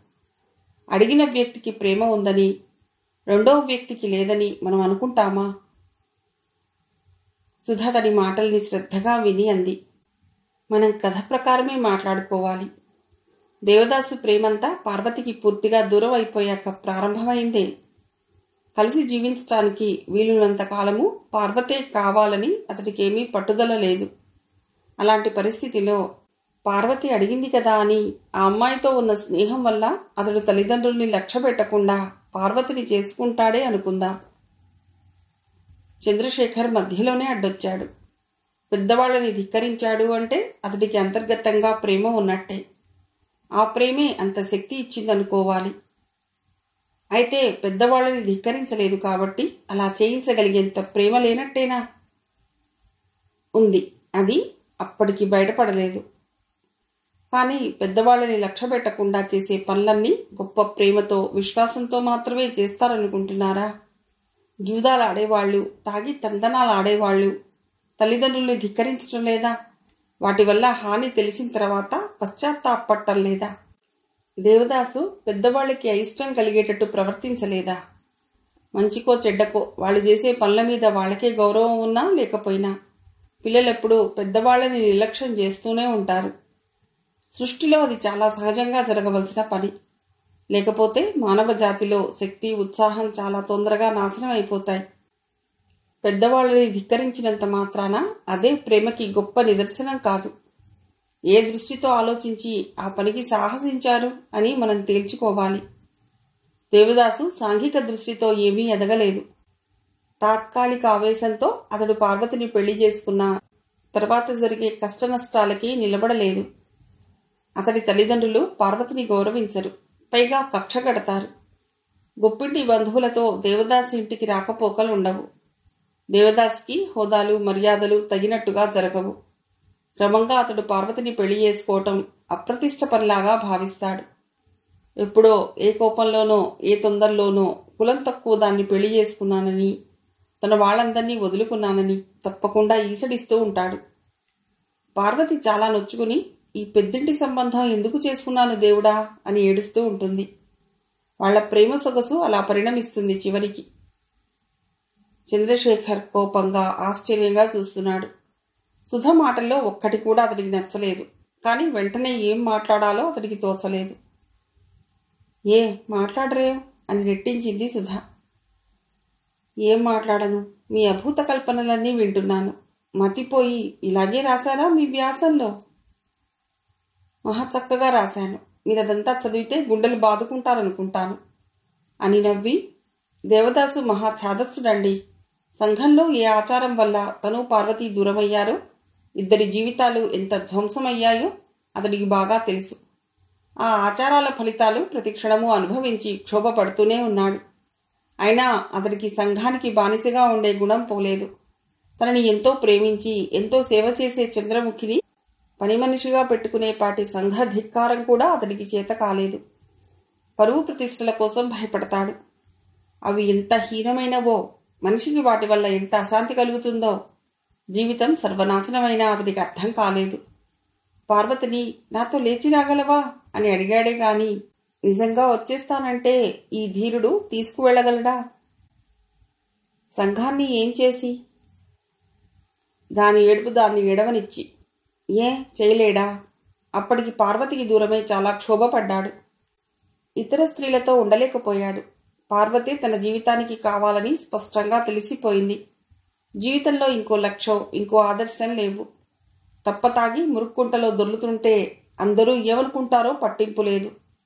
తన జీవితాన్ని అంత నిర్లక్ష్యంగా వదిలేసుకున్న వాడికి సంఘధర్మాల మీద ఎందుకు గౌరవం ఉండాలి? పార్వతిని తనతో వచ్చేయమని ఎందుకు ప్రార్థించలేదు? పోనీ దేవదాస్ అలా ఎవరి కోసం అయిపోయాడో పార్వతికి తెలుసు కదా. అతన్ని రక్షించి సుఖపెట్టడం కన్నా పార్వతి జీవితానికి సార్థకత ఏముంది మనం ఎక్కడికైనా వెళ్ళిపోయి సుఖంగా బతుకుదాం అని పార్వతీనా ఎందుకు అనలేదు ఒకరి కోసం ఒకరు ఏ త్యాగాలు చేసుకోరు. మర్యాద ముసుగుల్లోంచి బయటపడరు. అయినా సరే గొప్ప ప్రేమికులని లోకం ఎందుకు కీర్తిస్తుందో నాకు అర్థం కాదు. చంద్రశేఖర్కి సుధా వాదనలో కొంత న్యాయం కనపడ్డా అది సహజమైంది కాదనిపించింది ఇందాక నేనేదో వేదాంతం మాట్లాడానన్నారే. అలాగే మీరిప్పుడు ఆ లౌకికాలు త్యాగాలు బోధిస్తున్నారు? జీవులన్నీ భూమ్యాకర్షణకి ఎంత బద్ధులో మనుషులు సంఘ ప్రభావానికి అంత బద్ధులు. వంశపారంపర్యపు నమ్మకాలు పెంపకాలు చుట్టూ ధర్మాధర్మాల నీతిబోధలు నరనరానా జీర్ణించి మనుషుల్ని నడుపుతాయి. ఆ గాడిన పడి బతికే కోట్ల మంది సామాన్యుల్లో దేవదాస్ ఒకడు. అతడికి ప్రకృతి సహజమైన ప్రేమ తెలుసు గాని దాన్ని ఫలింపజేసుకోవాలంటే మానవ ప్రయత్నాలు ఏం చేయాలో తెలియవు. తెలిసినా సాహసం లేదు. అతను ఇంకో విధంగా ఎందుకు చేయలేదు? అని అడగటానికి ఎవరికీ హక్కు లేదు. అది అతని ఇష్టం. అది అతని స్వభావం. కాదని మీరంటే మీరు కొంచెం కూడా శాస్త్రీయమైన ఆలోచనకి విలువివ్వటం లేదని నేనంటాను. రచయితలు రెండు రకాలుగా రాస్తారు. కొందరు మనుషులు ఎలా జీవించాలో చెప్తారు. కొందరు ఎలా జీవించకూడదో చెప్తారు. శరత్ రాసిందంతా రెండో రకంలోనే. దేవదాసు చదివి పూర్తి చేసిన తర్వాత మన మనస్సులు చాలా భారంగా అయిపోయి నిట్టూర్చి వాళ్ళిద్దరికీ పెళ్ళైతే ఎంత బాగుండేది పోనీ ఎక్కడికైనా పోయి సుఖంగా బతికినా సంతోషించేవాళ్ళం అనుకుంటాం. ఒక్క క్షణం అన్నీ అలా అనిపించాయంటే రచయిత మనకి చాలా మేలు చేశాడన్న మాట ఏ రచనలో అయినా పాత్రలు చాలా వినయంగా బతికి సంఘనీతికి ఆహుతి అయ్యాయంటే దాని వెనక సందేశం ఆ నీతిని ధిక్కరించి మార్చుకుని సుఖపడమనే. దేవదాసు పార్వతి కలకత్తా పారిపోయి అక్కడ కాపురం పెడితే మనకి నిజంగా ఏమీ సానుభూతి కలగదు. వెధవ పని చేశారు. తప్పు కాదు అనుకుంటాం. వాళ్ళ నాశనం మన కళ్ళారా చూస్తేనే సంఘం వికృత రూపం ఎలాంటిదో అర్థమవుతుంది. ఏది తప్పో ఏది తప్పు కాదో అప్పుడు ఆలోచిస్తాం. అందుకే ప్రేమించిన వాళ్ళతో జీవించటమే లక్ష్యంగా పెట్టుకుని సాహసంగా లేచిపోయినట్టు కథలు రాసే రచయితలకి మర్యాద దక్కదు. అసలు ఈ మర్యాదల్ని ధిక్కరించమని రాసేవాళ్ళు మళ్ళీ ఈ మర్యాదల్నే ఆశిస్తారా? మీరెంతైనా చెప్పండి. ఇద్దరు మనుషుల మనస్సుల్లో పుట్టిన ప్రేమ స్థిరంగా నిలబడాలంటే ఆ ఇద్దరు ముందు సంఘ ప్రభావాన్ని వదిలించుకోవాలి. దాంట్లో మునిగి తేలుతోన్నంతకాలం ప్రేమ జీవితంలో చాలా అవాంతరాలు వస్తాయి సాధారణంగా అవే నెగ్గి ప్రేమ ఓడిపోతుంది. దేవదాసు పార్వతి విడిపోయి దూరం అయ్యారు కాబట్టే వాళ్ళ ప్రేమ అంత వృద్ధి అయింది గాని పెళ్ళే చేసుకుని ఉంటే మామూలు భార్యాభర్తల్లాగే కీచులాటల కాపురం చేసేవాళ్ళు అయితే ప్రేమించుకున్న వాళ్ళు విడిపోతేనే వాళ్ళ ప్రేమ నిలుస్తుందన్నమాట. చాలా మందికి అంతే. పోనీ నిలిచినన్నాళ్ళే నిలుస్తుంది కొన్నాళ్ళే సుఖపడతారు. విడిపోయి మొత్తం జీవితాంతం నిరాశతో గడపడం కన్నా అది మంచిది కాదు. ఎక్కడికక్కడ ఈ రాజీ పడే గుణం పోయేట్టు లేదు మనకి. మంచి చెడులు వదిలేయండి. అసలు ప్రేమ గురించి ఆలోచిస్తే నాకు కథ జ్ఞాపకం వస్తుంది. ముసలిరాజు గారికి రాచపుడ్డలేస్తే వైద్యులంతా చేరి దేవలోకం నుండి ఏదో గొప్ప సువాసన వేసే పుష్పం తేవాలంటారు. చూసారా? అదిగో ఆ పుష్పం లాంటిది ప్రేమ. దానికోసం ఎందరు బయలుదేరితే ఏం? చివరికెవరో గొప్ప సాహసికుడు. ప్రాణాలకు కూడా తెగించినవాడు. దారి పొడవునా కరుణతో ఎందరికో సహాయాలు చేస్తూ తన ప్రేమతో ఎందరికో శాప విమోచనాలు కలిగిస్తూ ధీరత్వంతో ఎన్నో ఘోర పరీక్షలకి తట్టుకుంటూ దేవలోకం చేరతాడు. దారి పొడుగునా చేసిన మంచి పనుల వల్లే ఆ దేవపుష్పాన్ని తాకే అర్హత వస్తుంది. అలాగే ప్రేమను పొందటానికి కూడా అంత గొప్ప అర్హత కావాలి. సరే జీవితం పొడుగునా ఏం పనులు చేయాలో చెప్పండి. ఆ అర్హత కోసం. వెన్నెల పూర్తిగా సుధమించి జరిగి చంద్రశేఖర్ మీదికి మళ్ళింది. జనం ఒక్కొక్కరు లేచి పెడుతున్నారు సుధ వాచి చూసింది. తొమ్మిది కావస్తోంది. ఏం చేద్దాం మనం సినిమాకి ఎడదామా అంది. వద్దండి. సినిమా లాంటి అల్ప విషయాల కోసం పెద్దల మీద తిరగబడి కష్టాలు తెచ్చుకోవటం వివేకం కాదు అంటూ లేచాడు చంద్రశేఖర్. సింహం నోట్లో మట్టి కొట్టి వెళ్ళిపోవలసిందేనా? అంటూ సుధ కూడా లేచింది. వెన్నెల్లో అంత దూరం చెట్ల కింద నుండి నడుస్తుంటే చాలా హాయిగా ఉంది. ఇద్దరూ ఏమీ మాట్లాడుకోలేదు. పార్క్ గేట్ దాటి రోడ్డు మీదికి జనంలోకి ఎలక్ట్రిక్ లైట్ల కిందికి వచ్చారు. దారిలో చంద్రశేఖర్ చెప్పు కుట్టించుకున్నాడు. రూపాయిన్నర పెన్ను కొన్నాడు. మళ్ళీ ఆ లెక్చరర్ సంగతి అడగాలనుకుని రెండు మూడు సార్లు అనుకున్నాడు కానీ అడగలేదు. ఇంటికి చేరేసరికి పది దాటింది. సుధ తల్లి తలుపు తీసి భోంచేయండి అని గదిలోకి వెళ్ళిపోయింది. తండ్రి వీధి గదిలోనే సోఫా మీద పడుకునున్నాడు సుధ అన్నాలు పెట్టింది. చంద్రశేఖర్ అన్నం కలుపుకుంటూ చూశారా పది దాటినా మీ అమ్మగారు ఏమీ అనలేదు. అనవసరంగా ఆడిపోసుకున్నారు మీరు అన్నాడు. పదకొండు దాటలేదు కాబట్టి గ్లాసులో మంచుళ్ళు పోసి సుధ కూడా కూర్చుంది. చంద్రశేఖర్ మాట్లాడించినా మాట్లాడే పద్ధతిలో కనపడలేదు. ఏంచేతనో సుధ ఇంట్లో ఉన్నప్పుడు ఎక్కువ మాట్లాడదేమో అనిపించింది అతడికి అమ్మ ఇంకా అలాగే ఉంది అంటోంది సుధ. చాలా దిగులు కలిగింది. నాన్న బయట గదిలో పడుకున్నాడంటే ఇంకా అలాగే ఉన్నాడన్నమాట. ఆయనకి కోపం వచ్చినప్పుడు చేసే పని అది. చంద్రశేఖర్ భోజనం ముగించి లేస్తూ మీ దేవదాసు వ్యాసం ఒకసారి ఇవ్వండి అన్నాడు. సుధ కొంచెం సేపటికి తలెత్తి చూసి అంత బాగుండదు ఏదో రాసేశాను అంది నిరుత్సాహంగా నవ్వుతూ. పర్వాలేదు అన్నాడు. సుధ లేచి వెళ్ళి పుస్తకాల అల్మరాలోంచి ఒక నోట్బుక్ తీసి అతనికిస్తూ ఉంచాలో చింపేయాలో తేల్చేయండి అని నవ్వి వెళ్ళిపోయింది. అట్ట మీద ఎగిరే పక్షులు చాలా అందంగా ఉన్నాయి. చాలాసేపు వాటినే చూసి కాగితం తిప్పాడు. అది రాసిన తారీఖు చూస్తే సంవత్సరం పైగానే అయ్యింది. పార్వతికి దేవదాస్కి పెళ్ళైతే వారి జీవితం ఎలా ఉండేది అని హెడ్డింగ్. దేవదాసు చదివినప్పుడు సుధ చాలా చెలించిపోయి ఉండాలి. లేకపోతే అంత పట్టుదలగా అంత ఆసక్తిగా అన్ని పేజీలు రాసి ఉండదు. దేవదాసు మీద సుధకి చాలా కోపంగా ఉన్నట్టు కనబడింది. చిన్నప్పుడు చేసిన అల్లరిని కూడా తెగ విసుక్కుంది. అతడి వెనకాల తిరిగిన పార్వతికి బుద్ధి లేదంది. చదువుకున్న పెద్దవాడైనా దేవదాస్కి జ్ఞానం రాలేదుట. తలకాయలో సరుకులేని వాళ్ళు కలకత్తా వెళ్ళినా లండన్ వెళ్ళినా ఒకటేనట. చంద్రముఖిని దేవలోకానికి ఎత్తింది దేవదాసు వెంట ఉండే ముసలి నౌకర్ని కూడా చంద్రముఖి సరసన పెట్టి అసలు ప్రేమంటే వీరిదే. ఆ మూర్ఖుడికి ఎంతమంది నుండి ప్రేమ దొరికితే ఏం లాభం? కాలదన్నుకు పోయాడు అని మళ్ళీ దేవదాస్నే తిట్టింది. పార్వతి గురించి చాలా గొప్పగా అద్భుతంగా రాసింది. పార్వతి వ్యక్తిత్వానికి ఆత్మాభిమానానికి నివాళులెత్తింది ఎక్కడికక్కడ పార్వతి సాహసానికి అదిరిపోయింది. పార్వతి స్నేహితురాల్ని వెక్కిరించి ఎందుకే? మీరు అనవసరంగా గుప్పెళ్ళ కొద్దీ పసుపు కుంకాలు పాడు చేస్తారు?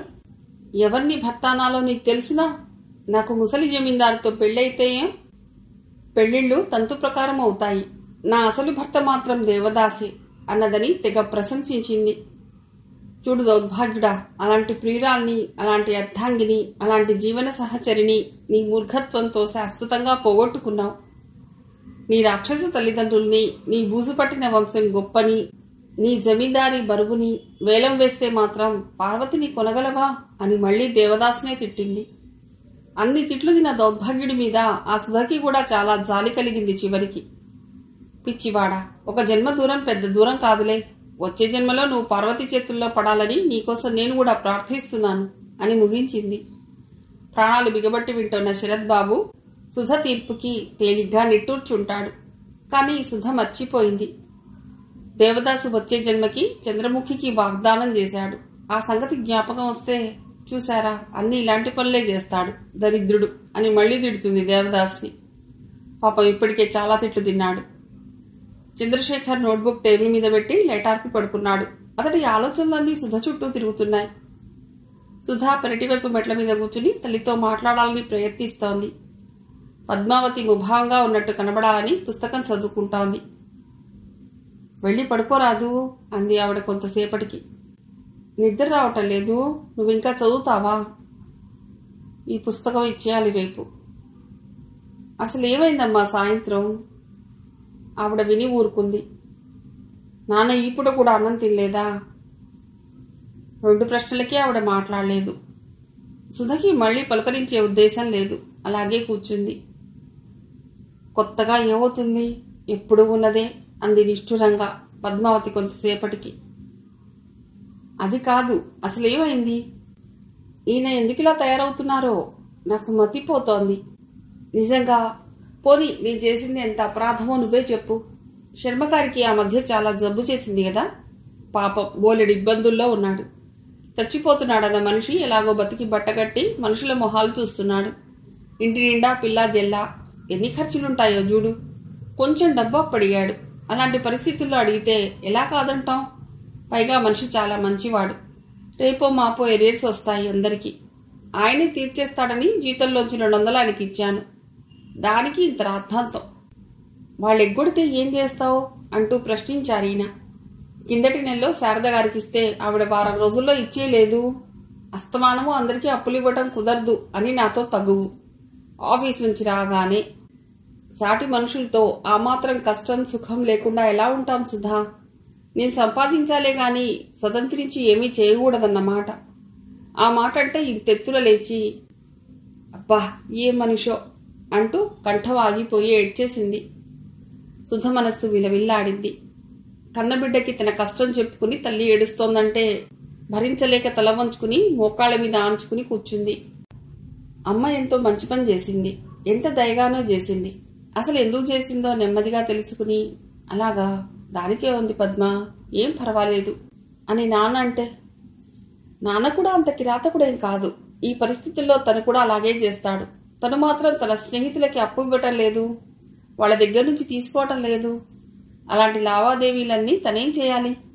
భార్యకి స్నేహితులు ఉండకూడదు సొంత వ్యవహారాలు ఉండకూడదు తను చేసే పనుల మీద తనకి గౌరవం. కానీ ఇంకో వ్యక్తి చేసే పనుల మీద కూడా అలాగే గౌరవం ఉండాలని చాలామందికి జీవితం పొడుగునా తెలియదు శర్మగారికి అప్పులు ఇవ్వటం మానటం అమ్మ ఇష్టం.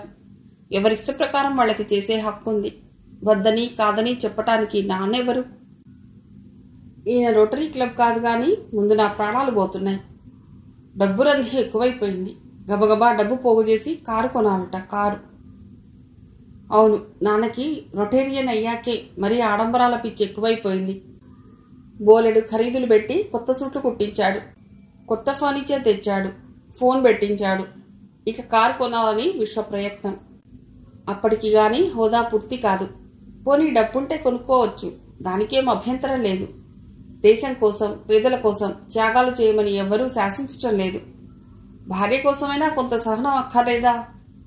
తిట్టి దండించి పెత్తనం చేసి డబ్బు కూడబెట్టి కారు కొని అందులో తిరిగితే ఏం గొప్ప సుఖం వస్తుంది?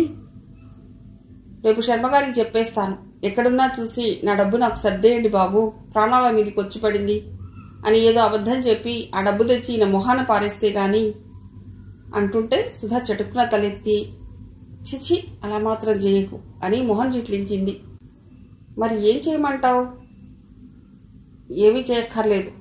ఆయన ఎప్పుడు ఇస్తే అప్పుడు తీసుకో. ఇవ్వకపోతే ఊరుకో. ఆ మధ్య స్మగుల్డ్ టేప్ రికార్డర్ తెస్తానని ఎవరో ఒక ఆయన వెయ్యి రూపాయలు ఎగ్గొడితే నానేం చేశాడు? బాగుంది. అది ఆయన చేసిన పని.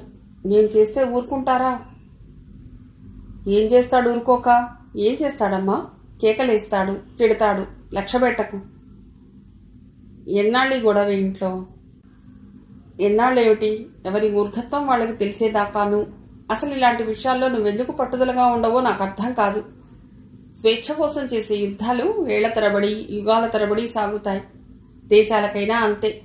ఒక్క మనిషికైనా అంతే. చిచ్చి బతుకైపోయింది అని నిట్టూర్చింది పద్మావతి. సుధకి తండ్రి మీద బాగా కోపం వచ్చిందని ఆవిడకి అర్థమైంది. లేకపోతే సుధ ఎప్పుడూ అంత నిర్మోహమాటంగా మాట్లాడదు. తీరా కడుపులో బాధంతా చెప్పి ఆ పిల్లతో సలహా చెప్పించుకున్నాక కొంచెం చిన్నతనం అనిపించింది పద్మావతికి. ఏం స్వేచ్ఛ ఏం యుద్ధం? పిచ్చి మాటలు. సంసారాలు వెలగబెట్టిన వాళ్ళకి బుద్ధి జ్ఞానం ఉండాలి కానీ ఈయన రోజూ పోట్లాడుతూ ఉంటే ఎవరు పడగలరు? రేపు కాకపోయినా రెండు రోజులు పోయాకన్నా అడగాలి శర్మగారిని అనుకుని పుస్తకం మూసి పడుకుందాం పద అంటూ లేచింది. సుధా చంద్రశేఖర్ పడుకున్న గదిలోకి వెళ్ళింది. అతను నిద్రపోతున్నాడు. చొక్కా మార్చుకోలేదు. కొత్త పెన్ను జేబులోంచి తొంగి చూస్తూ చీకట్లో మెరుస్తోంది. అది తీసి టేబుల్ మీద పెట్టి ఫ్యాన్ వేసి వెళ్ళిపోయింది. సుధకు నిద్ర పట్టడం లేదు. తల్లి చెంపల మీద జారే కన్నీళ్ళు దగదగా మెరుస్తున్నాయి. చిచి ఏం జీవితం? అని ఎవరన్నా ఏడ్చారంటే వాళ్ళకి అంత దుఃఖం కలిగించిన వాళ్ళని ఏం చేయాలి? ఏమి జన్మం బేమి జీవనము? అంటూ పుట్టినందుకు సిగ్గుపడుతూ పాడుతూ అడుక్కుంటూ రోజూ వస్తాడు ఒక బిచ్చగాడు. అతడికి అంత కష్టం కలిగించేది ఎవరో చెప్పమంటే మామూలే నా కర్మ తల్లి అంటాడు. అమ్మా నాన్న కూడా ఎవరి కర్మకి వాళ్ళు వగస్తూ ఉంటారు. ఒకప్పుడు అదృష్టం అనుకున్నదంతా కర్మలోకి దిగింది. రోడ్డు వార కుళ్ళు కాలువ ఒడ్డున చింకి పీలికలతో శవాకారంగా ఉన్న కురూపి బిచ్చగాన్ని చూపించి ఇరవై సంవత్సరాల కిందట వీరు గొప్ప రాజాధిరాజులు ప్రపంచాధినేతలు సౌందర్య ప్రభువులు సువర్ణ రథాలలో పయనించిన వారు. హంసతూలికా తల్పాలపై శయనించిన వారు. అంటే నమ్మశక్యంగా ఉంటుందా? అరే ఇప్పుడు ఇలా అయ్యాడేం. అయిపోయారు. ఎందుకు అయిపోయాడు? ఆ రాజ్యాలు ఆ సిరి సంపదలు ఆ సౌందర్యాలు అన్నీ ఏమైపోయాయి? పోయాయి. ఎలా పోయాయి? ఎలాగో పోయాయి. ఎలా నమ్ముతాం? అదే నిజమైతే నమ్మకం చేస్తాం. అయినా అవన్నీ భౌతిక సంపదలు. పోతే పోవచ్చును. ఆత్మ సంపద అనురాగ సంపద కూడా పోతే మనుషులకేం మిగులుతుంది? ఆ బిచ్చగాళ్ళ కన్నా దురదృష్టవంతులు అయిపోయారు అమ్మా నాన్న. ఆ ప్రేమ రాజ్యాలన్నీ ఏం చేసుకున్నారో ఆ సంతోషాలన్నీ జీవితం మీద ఆశలన్నీ ఎలా పోగొట్టుకున్నారో. ఆ కొత్త రోజుల్లో ప్రపంచాన్ని ధిక్కరించిన ధీరుల్లాగా రెక్కలు చాచుకుని ఎగిరే పక్షుల్లాగా ఆకాశంలో విహరించే మబ్బుల్లాగా ఆ మొహాల్లో ఆ కళ్ళల్లో ఎంత మెరుపు ఎంత కాంతి ఎంత ఆనందం. ఎంతెంతో అందమైన ఉద్యానవనాల్లో నదీ తీరాల్లో పడవ షికార్లలో ఉన్నత సౌధాల ముందు సూర్యాస్తమయాల్లో ఎన్నెన్ని రకాల ఫోటోలు? నెమలి సింహాసనం మీద రాణి మల్లే కూర్చున్న అమ్మ. అప్పుడు నిజంగా ఒక ప్రేమ సామ్రాజ్యానికి రాణియే. ఆ మధుర స్మృతులన్నీ కాగితం మీద పొదిగి దాక్కున్నాయి. మళ్ళీ మళ్ళీ కొత్త ఫోటోలు లేనే లేవు. అమ్మకి ఇష్టమైన వాళ్ళు ఎవరన్నా వస్తే ఆల్బమ్ తీసి చూపిస్తూ ఉంటుంది. చూసే వాళ్ళ కళ్ళల్లో అసూయ జాడలు సృష్టించేంత అద్భుతంగా ఉంటాయి ఆ ఫోటోలు. ఇవన్నీ మీ పెళ్ళి రోజుల్లోవేగా తర్వాత వేం లేవే అని ఎవ్వరూ అడగరు. ఎవరన్నా అడిగితే మాత్రం ఏమిటోనండి శ్రద్ధ పోయింది అంటుంది అమ్మ. ఏమిటోనండి ప్రేమ పోయింది అనేయరాదు ప్రేమలు తప్పకుండా పోతాయి. అలా పోయినప్పుడు భరించడం ఎలా? అంచేత దాని మీద ఏమీ ఆశ పెట్టుకోకూడదు. ఈసారి రాజారావు గారికి నేను మొహమాటంగా చెప్పేయాలి. చూడండి సార్ ఈ ప్రేమలో అవి చిన్నపిల్లలు ఆడుకునే రబ్బరు బుడగలు లాంటివి. వాటి రంగులు చూసి మురిసిపోతారే గాని వాటిని ఎంత మృదువుగా ఎంత జాగ్రత్తగా రక్షించుకోవాలో పిల్లలకు తెలియదు. తెలిసినా లాభం లేదు. ఎప్పుడూ అవి పేలి తీరవలసిందే. పేలటం బుడగల ధర్మం పేలగొట్టడం పిల్లల ధర్మం. పిల్లల కన్నా మనం ఏమీ జ్ఞానులం కాము. వాళ్ళ ఆట బుడగల కన్నా మన ప్రేమలు దృఢమైనవి కావు. మీకు మీ పెళ్ళికి నమస్కారం అని చెప్పేయాలి. నయం ఇంకా ఒప్పుకున్నాను కాదు. తెల్లవారి దగ్గర నుండి సుధ తండ్రి వెంకట్రావు కొంచెం నవ్వు మొహంతో కనిపించాడు అందరికీ. చంద్రశేఖర్కి ఉద్యోగం గురించి ఎవరినో కలుసుకోమని వివరాలన్నీ చెప్పాడు. ఎవరు పిలవకుండానే టిఫిన్ కోసం వచ్చి పేపర్ చదువుతూ టేబుల్ దగ్గర కూర్చున్నాడు సుధా చంద్రశేఖర్ని కూడా పిలిచి ఇద్దరికి ఇడ్లీలు పెట్టి తను కూడా కూర్చుంది. నాన్నని కడుపులో మిషన్ కేకలేసి పంపింది కావును అప్పుడప్పుడు అలగటం మంచిదే ఆకలన్నా తెలుస్తుంది. అసలు అలిగి తిండి మానేసిన వాళ్ళకి పది రోజుల వరకు ఏమీ వండకూడదు. అలిగే హక్కు నీకుంది ఆ హక్కుని మేము రక్షిస్తాం. నీ టిఫిన్లు కాఫీలు భోజనాలు అన్నీ బంద్ చేశాం అని చెప్పాలి. ఆ కారపొడిలా అందించు. సుధా పనిచేసింది ఇడ్లీల నిండా నెయ్యి పట్టిస్తూ ఏమా నిన్న సుబ్బారావు గారు కార్యక్రమం అంటే ఎక్కనన్నావుట? అని జవాబు చెప్పమన్నట్టు చూశాడు ఆయన కూతుర్ని. సుధకి నిన్న సంగతి జ్ఞాపకం వచ్చి సుందర్రావు గారో మందర్రావు గారో ఆయన ఎవరో నాకు తెలియదు అంది. నన్ను ఎరుగుదునని చెప్పారటగా? నిన్నెరిగితే నిన్నెరిగిన వాళ్ళందరి కార్లు ఎక్కమంటావా నన్ను? అని కోపం తెచ్చుకుంది. చంద్రశేఖర్ ఆశ్చర్యంగా చూస్తున్నాడు. అబ్బా అది కాదమ్మా. వానలో అంత తడిసి రాకపోతే ఆయన కార్లో డ్రాప్ చేస్తానంటే. ఊరుకో నాన్న నీకు మరీ కార్ల పిచ్చి ఎక్కువ అవుతోంది నాకు ఇష్టం లేదన్నాక ఆయన నీకు చెప్పడం ఏమిటి? నువ్వు నన్ను అడగటం ఏమిటి? సిల్లి నువ్వు కారు కొంటావు కావును నీ కార్లో కూడా నన్ను ఎప్పుడు ఎక్కమని అడక్కు. ఓహో నీ కారు నువ్వే కొనుక్కుంటావా? ఏ కొనుక్కోలేనా? నీ పాటి ఉద్యోగం నేను చేస్తాను. చాలా పెద్దదానివైపోయావన్నమాట. పెద్దవాళ్ళు చిన్నవాళ్ళు అవుతుంటే మరి చిన్నవాళ్ళు పెద్దవాళ్ళు కాక ఏం చేస్తారు? కూతురి జవాబులు ఎప్పుడూ ఆయనకు అలవాటే. మురిపంగానే ఉన్నాయి. పైకి మాత్రం కోపం ప్రదర్శిస్తూ చంద్రశేఖర్ని చూసి చూడబోయ్ మా అమ్మాయి తీరు. నువ్వెప్పుడన్నా పెద్దవాళ్ళకి ఇలా ఎదురు తిరిగి మాట్లాడావా? పిల్లల్ని కని పెంచి పెద్దవాళ్ళని చేసేది ఇందుకేనా? ఆ మాత్రం విశ్వాసం ఉండద్దు అని ఫిర్యాదు చేశాడు. చంద్రశేఖర్ నవ్వి ఊరుకున్నాడు. విశ్వాసం కుక్కల లక్షణం అని చెప్పరాదు మీరు అని సుధా చంద్రశేఖర్ని చూసింది. నీకు తలతిక్క పోవాలి సుమా అన్నాడు ఆయన కొంచెం అవమానపడి నవ్వుతోనే. థ్యాంక్స్ నానా తల వంచుకోవడానికి పర్మిషన్ ఇచ్చావు. వంటింటోంచి కూతురు మాటలన్నీ వింటోన్న పద్మావతి ముసిముసి నవ్వులు నవ్వుకుంటోంది. చంద్రశేఖర్ మాత్రం పూర్తిగా ఆశ్చర్యంలో మునిగిపోయాడు. మనుషుల సంస్కారంలో తప్ప నాకు ప్రేమలో నమ్మకం లేదు మాస్టారు. అంది సుధా కొంచెం మొహమాట పడుతూ. అంటే? అన్నాడు రాజారావు అర్థం కానట్టు అర్థం కాలేదు కూడా. ఇద్దరూ చిట్టడవి పార్కే వచ్చారు. పెళ్ళి గురించి ప్రేమ గురించి ఏమీ ఆలోచించకూడదని సుధా చాలాసార్లు నిర్ణయాలు చేసుకుంది.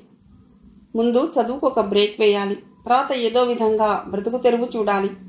ఆ తర్వాత ఏమో అంతవరకు జరగాలి ముందు అనుకుంటూ ఉంటుంది. రాజారావు సుధ విషయంలో ఎక్కువ ఆసక్తి చూపించాడు. సుధ తన నిర్ణయానికి వ్యతిరేకంగా కొంత ఆలోచనల్లో పడింది. మీరన్నదేమిటో నాకు అర్థం కాలేదు అన్నాడు రాజారావు. సుధ కొంత ఆలోచనలో నుండి బయటపడింది.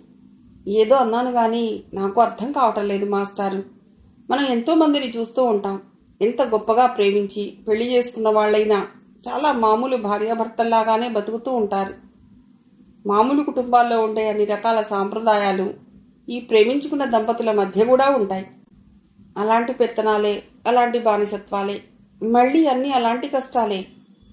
యథావిధిగా భర్తల పెత్తనాలు లేకపోతే భార్యల రాక్షసత్వాలు అంతా మామూలే.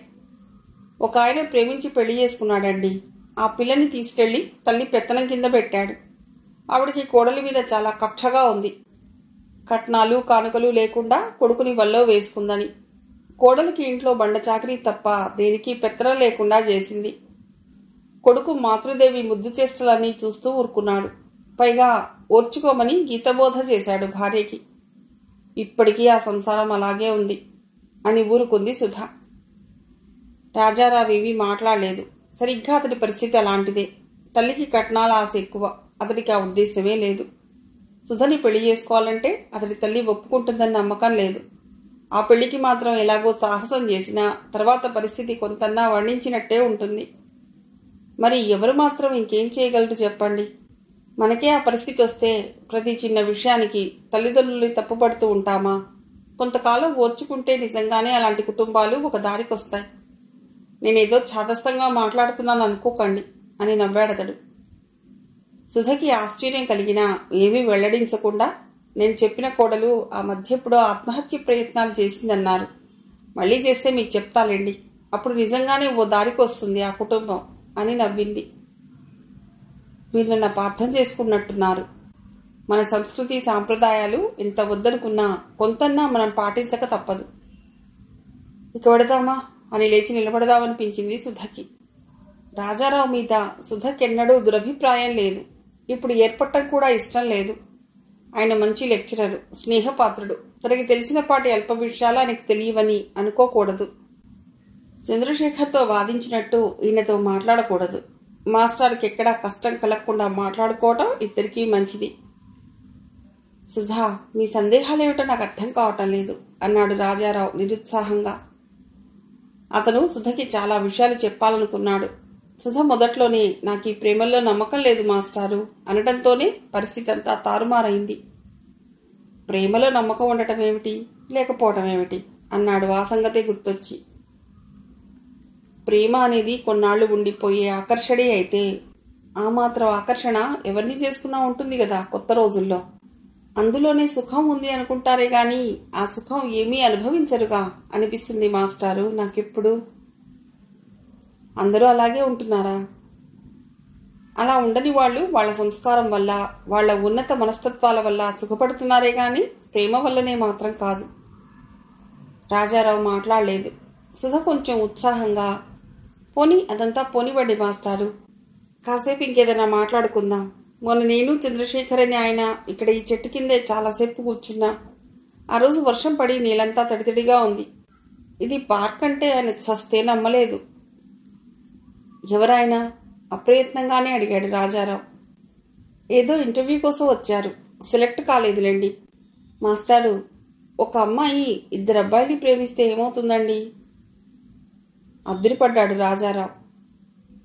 చాలా ఆశ్చర్యంగా ఉంది కదండి. నాకు అలాగే అనిపించింది. ఈ మధ్య ఏదో పత్రికలో కథ చదివాను. ఒక అమ్మాయిని ఇద్దరు అబ్బాయిలు ప్రేమిస్తారు. ఒక అబ్బాయి ఉత్తరం రాస్తాడు. ఒక అబ్బాయి స్వయంగా అడుగుతాడు. వాళ్ళిద్దరికీ రెండో వ్యక్తి అభిప్రాయం తెలియదు. ఆ అమ్మాయి చాలా సంఘర్షణలో పడిపోతుంది. రాజారావు అడ్డొచ్చి తనకెవరి ఇష్టమైతే వాళ్ళనే నిర్ణయించుకోరాదు అన్నాడు. అదే ఇబ్బంది. ఆ అమ్మాయికి ఇద్దరితోటి బాగా స్నేహం ఉంది. ఇద్దరి స్వభావాలు మంచివే. ఇద్దరు చదువుకున్న వాళ్ళే ఇద్దరు అందమైన వాళ్ళే ఒక అబ్బాయి చక్కగా పాటలు పాడతాడు. ఒక అబ్బాయి అద్భుతంగా బొమ్మలు వేస్తాడు. పాటలు పాడే అబ్బాయి కొంచెం కోపిష్టి ఆవేశపరుడు. బొమ్మలు గీసే అబ్బాయికి ఎక్కువ శాంతం. ఎప్పుడు ఊహల్లో తేలుతుంటాడు. ఈ తేడా తప్ప ఎవరితో అయినా జీవితం బాగానే ఉంటుందని ఆ అమ్మాయికి అనిపిస్తుంది పోనీ ఎవరినో ఒకరినే ఎంచుకుందామన్నట్టు మొగ్గితే ఆ రెండో వ్యక్తిని వదులుకుంటోన్నందుకు మనస్సు విలవిల్లాడుతుంది. ఆ అమ్మాయికి ఏం చేయాలో తెలియక చాలా దిగులు పడుతూ ఉంటుంది. ఇద్దరిని పెళ్ళి చేసుకుంటే సరి అన్నాడు రాజారావు మొహం చిట్లించి. నిజంగా ఆ అమ్మాయికి ఆ ఊహే వస్తుంది.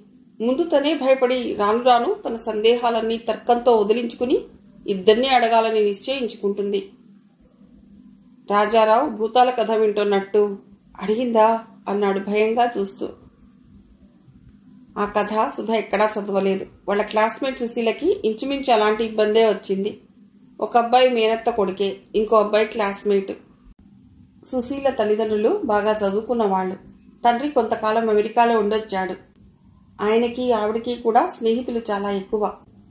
సుశీల ఎంతో మంది మగపిల్లలతో స్నేహాలు చేసేదిట చిన్నప్పటి నుండి. పెళ్ళి వ్యవహారం వచ్చేటప్పటికి ఇద్దరి మీద ప్రేమతో చాలా బాధపడింది. ఏం చేయమంటావే సుధా? అని సలహా అడిగినప్పుడు ఇద్దరిని చేసుకో అంది సుధా. అలాంటి దేశం ఎక్కడన్నా ఉందా? అని ఇద్దరూ ఆలోచించారు. అది జీవితం కాబట్టి సుశీల ఒక వ్యక్తినే నిర్ణయించుకుంది. కానీ ఆ సంఘటన మీద సుధకి చాలా రోజులు ఎడతెరిపి లేని ఆలోచనలు వచ్చాయి. ఒక రకంగా సుశీల కన్నా సుధే ఎక్కువ బాధపడింది. ఆ రోజుల్లోనే సుధకి ఒక కథ రాయాలనిపించి కొంతవరకు రాసింది. ఎలా ముగించాలో తోచలేదు. ఇద్దరిని పెళ్ళి చేసుకున్నట్టు రాయటానికి ధైర్యం లేదు. అలా జీవించటానికి సుశీల ఇష్టపడ్డా అవతల వాళ్ళిద్దరూ ఇష్టపడరు. ఇష్టపడితే తర్వాత మళ్ళీ వాళ్ళకి ఇతర స్త్రీల మీద ప్రేమ కలిగినప్పుడు సుశీల ఇష్టపడాలి. మళ్ళీ ఆ స్త్రీలకి ఇంకొకరి మీద ప్రేమ కలిగినప్పుడు అదంతా ఎక్కడాగుతుంది? అర్థం కాలేదు. ఎందుకు ఆగాలి? అది కూడా అర్థం కాలేదు. ఇద్దరు భార్యలతో జీవించే భర్తలు ఉంటారు కానీ ఇద్దరు భర్తలతో జీవించే భార్యలు ఉండరు నాగరిక ప్రపంచంలో. ఏ స్త్రీ కన్నా భర్తగాక ఇంకో పురుషుడితో సంబంధం ఉందంటే అది రహస్య సంబంధం కిందే లెక్క. ఏం చేసింది ఆ అమ్మాయి ఆఖరికి? అన్నాడు రాజారావు ఆతృతగా. ఇద్దరు మొగాళ్ళతో సంబంధాలుండే ఆడవాళ్ళ గురించి మనం వింటూనే ఉంటాం కదా మాస్టారు? అని ఎదురడిగింది సుధా. అయితే రహస్య సంబంధాలు ఒప్పుకుంటారు. ఆ ఇద్దరు మొగాళ్ళు ఆమెతో పబ్లిక్గా బతకటానికి ఒప్పుకోరు. ఎందుచేత? మన సమాజం ఇంకా అంత చెడిపోలేదు. సుధకి ఈసారి బాగా ఆశ్చర్యం కలిగింది. సమాజాన్ని చెడగొట్టాలని ఎవరికి సరదా ఉంటుందండి? ఇన్ని కోట్ల మంది జీవితాల్లో ఎవరికైనా కొన్ని కొత్త సమస్యలు వస్తే సమాజం వాటిని కూడా సానుభూతితో పరిష్కరించాలి కదా. రాజారావు తన ఇష్టాన్ని చాలా స్పష్టంగా వెల్లడి చేస్తూ అసలేం జరిగిందో కథ సంగతి చెప్పండి అన్నాడు విసుక్కుని. అతని అభిప్రాయాలు ఎలాంటివైనా తను చాలా ఆసక్తిగా మాట్లాడుతున్న విషయాన్ని నిర్లక్ష్యం చేసి విసుగు ప్రకటించటం సుధకి చాలా కష్టం కలిగించింది. చంద్రశేఖర్ అయితే ఈ విషయాన్ని చాలా సహనంగా తర్కించేవాడు. అయినా ఈ విషయం రాజారావు గారికి ఎంత కోపం తెప్పించేట్టుందేమో? అన్ని కథల్లాగే అది అయింది చివరికి. కానీ ఆ అమ్మాయి కొంతవరకు తన ప్రయత్నాలు తను చేసింది. బొమ్మలు వేసే అబ్బాయిని ముందడిగింది. నువ్వంటే నాకెంత ఇష్టమో అతనంటే కూడా అంత ఇష్టమే ముగ్గురం కలిసి ఉందాం అంది. అతనికి ఈ అమ్మాయిని వదల్లేనంత ప్రేమ ఒప్పుకున్నాడు. ఒప్పుకున్నాడా అని ఎదిరిపడి మరి రెండో వాడు అన్నాడు రాజారావు. రెండవ అతన్ని కూడా అలాగే అడిగింది. విని వినగానే మండిపడ్డాడు. తిట్టి వెళ్ళిపోయాడు. మంచి పని చేశాడు అని తేలికపడ్డాడు రాజారావు. కథ అలా ముగించాలని సుధకెంత మాత్రమూ లేదు. సుశీల పాత్రకి మానసిక సంఘర్షణ భరించలేక మతి చెలిస్తే లౌకిక జ్ఞానం లేని ఆ స్థితిలో ఆమె ఎలాంటి రహస్యాలు మర్మాలు లేకుండా ఇద్దరి మీద తన ప్రేమ ఎంత గాఢమో తన ప్రవర్తనతో మాటలతో స్పష్టం చేస్తే మొదట్లో అవి పిచ్చి మాటలు అనుకున్నా రాను రాను వాటి సత్యం ఆమె స్నేహితులకిద్దరికీ అర్థమవుతుంది. ఆమె మంచి మనిషి కావటానికి సంవత్సరం పైగా పడుతుంది. ఆ కాలంలో ఆ స్నేహితులిద్దరూ చాలా దగ్గరవుతారు. ముగ్గురు కలిసి జీవించడానికి ఇష్టపడతారు. కానీ అది చట్టసమ్మతం కాదు సంఘ సమ్మతము కాదు. ఒకరికి హాని జరగని విషయాల్లో ఎవరి సమ్మతం వారికే గాని ఇతర సమ్మతాల లక్ష్యం ఉండకూడదు. ఎప్పటికైనా ఆ పిచ్చి కథ పూర్తి చేస్తే అలాగే చేయాలని ఉంది ఎవరికీ నచ్చకపోయినా సరే ఎంతమంది తిట్టినా సరే చంద్రశేఖర్కి చెప్పలేదు ఈ సంగతి. అతడికి నచ్చాలి తప్పకుండా. ఇద్దరూ మాటలు మర్చిపోయినట్టు కూర్చున్నారు. ఇద్దరికీ చాలా నిరుత్సాహంగా ఉంది. రాజారావు పెళ్ళి సంగతులు తర్వాత పెట్టబోయే సంసారం సంగతులు చాలా మాట్లాడాలనుకున్నాడు. చెప్పాలనుకున్నదేమిటో గుర్తు రాలేదు. అప్రయత్నంగా అనాలోచితంగా అన్నాడు. మనం నలుగురిని కాదని ఏ పని చేయలేం. అంతసేపు మౌనం తర్వాత అతను ఆ మాటలు అనటం తన కథ గురించి అని అర్థమై చెయ్యలేమా? చెయ్యకూడదా? అని అడిగింది సుధా. చేయలేకపోయిన తర్వాత ఇక ఏదైతేనేం. ఎవరైనా చేయగలిగితే? తర్వాత బాధపడతారు. మీ కథలో అమ్మాయిని తర్వాత అడిగితే అప్పుడేదో బుద్ధి తక్కువగా ఆలోచించాను. ఇద్దరి మీద ప్రేమ ఏమిటి? అంటుంది. అన్నంత మాత్రాన బుద్ధిమంతురాలైందని అర్థం కాదు. తనకి చాలా సహజంగా నిర్మలంగా కలిగిన అనుభూతుల్ని చంపుకుని సంఘభయం వల్ల నీతికి అనుకూలంగా మారిందన్నమాట అని ఒక్క క్షణం ఆగి పుస్తకాల్లో చదివే విషయాలు తప్ప నాకేం తెలియవనుకోండి అందరూ సంఘం సంఘం అంటారు లేకపోతే రాస్తారు. ఆ లెక్కల ప్రకారం మనం సంఘానికి ఒక రూపం తయారు చేస్తే అది బాగా ఇరుకు జైలు లాంటిదేమో అనిపిస్తుంది నాకు. అందులో గాలి వెలుతురు ఉండవు. కాళ్ళు చేతులు ఆడవు తల ఎత్తలేం. ఎప్పుడూ కుంచుకుని శరీరమంతా ముడుచుకుని తల వంచుకుని దానికి వినయం అని పేరు పెట్టుకుని ఎన్ని తరాలుగానో బతికేస్తున్నాం. ఆ వినయం విధేయత తెలియని ఏ మూర్ఖుడికో ఆ జైలు గోడలు బద్దలు కొట్టాలని బుద్ధి పుడుతూ ఉంటుంది. సాహసించే బయటికి పోతాడు. అందుకేనేమో మాస్టారు సంఘం వెనుక ఎప్పుడు సంఘ ధిక్కారం కూడా ఉంటుంది అని రాజారావు మాటల కోసం ఆగింది. అతడు ఏమీ అనలేదు. ఏమనుకున్నాడో అర్థం కాలేదు. నిజంగానే రాజారావు స్పష్టంగా ఏమీ అనుకోలేదు. ఆలోచనలు స్తంభించి లోపలంతా శూన్యమైంది. అసలు ఈ రకంగా కాదు. అతడు సుధతో మాట్లాడాలనుకున్నది. మొదట్లో ఆమెను తను చూసినప్పటి నుండి ఏమేమి ఆలోచించాడో ఇద్దరూ ఒక జీవితం ఎలా గడపాలనుకున్నాడో తన తల్లికి అయిష్టమైనప్పటికీ ఎలా నచ్చజెప్పాలనుకుంటున్నాడో ఆమె దగ్గర కోడలిగా సుధకి ఎంత సహనం ఉండాలో ఇంకా చాలా. తను కాలేజీ పరిచయాలతో ఎరిగిన సుధకి ఈ అమ్మాయికి ఏవీ పోలికే లేనట్టుంది. ఎంత పోలిక లేకపోయినా ఈ సుధ గురించే తను ఎప్పటినుంచో ఆలోచించేది. పౌర్ణమి చాలా దగ్గర పడిందేమో. వెన్నెల చాలా కాంతిగా అందంగా వెలుగుతోంది. గాలి బాగా చల్లబడి చలిబుట్టిస్తోంది సుధ పవిట చెంగు భుజాల చుట్టూ కప్పుకుంది. వెళదామా? అన్నాడు రాజారావు. పదండి అని లేచింది. ఇద్దరూ ఆకుసందుల్లోంచి పడే వెన్నెల నీడల్లోంచి నడుస్తున్నారు. రాజారావు సుధ చేయి పట్టుకున్నాడు. సుధ ఆగింది. అతడు చాలా దగ్గరగా నిలబడ్డాడు. జీవితంలో ఆ అమ్మాయిని వదులుకోకూడదు అనిపించింది ఆ క్షణం. ఏం ఆలోచిస్తున్నారు? అన్నాడు చాలా మృదువుగా. ఏం లేదండి అంది. మీరంటే నాకెంతో ఇష్టం అనబోయాడు.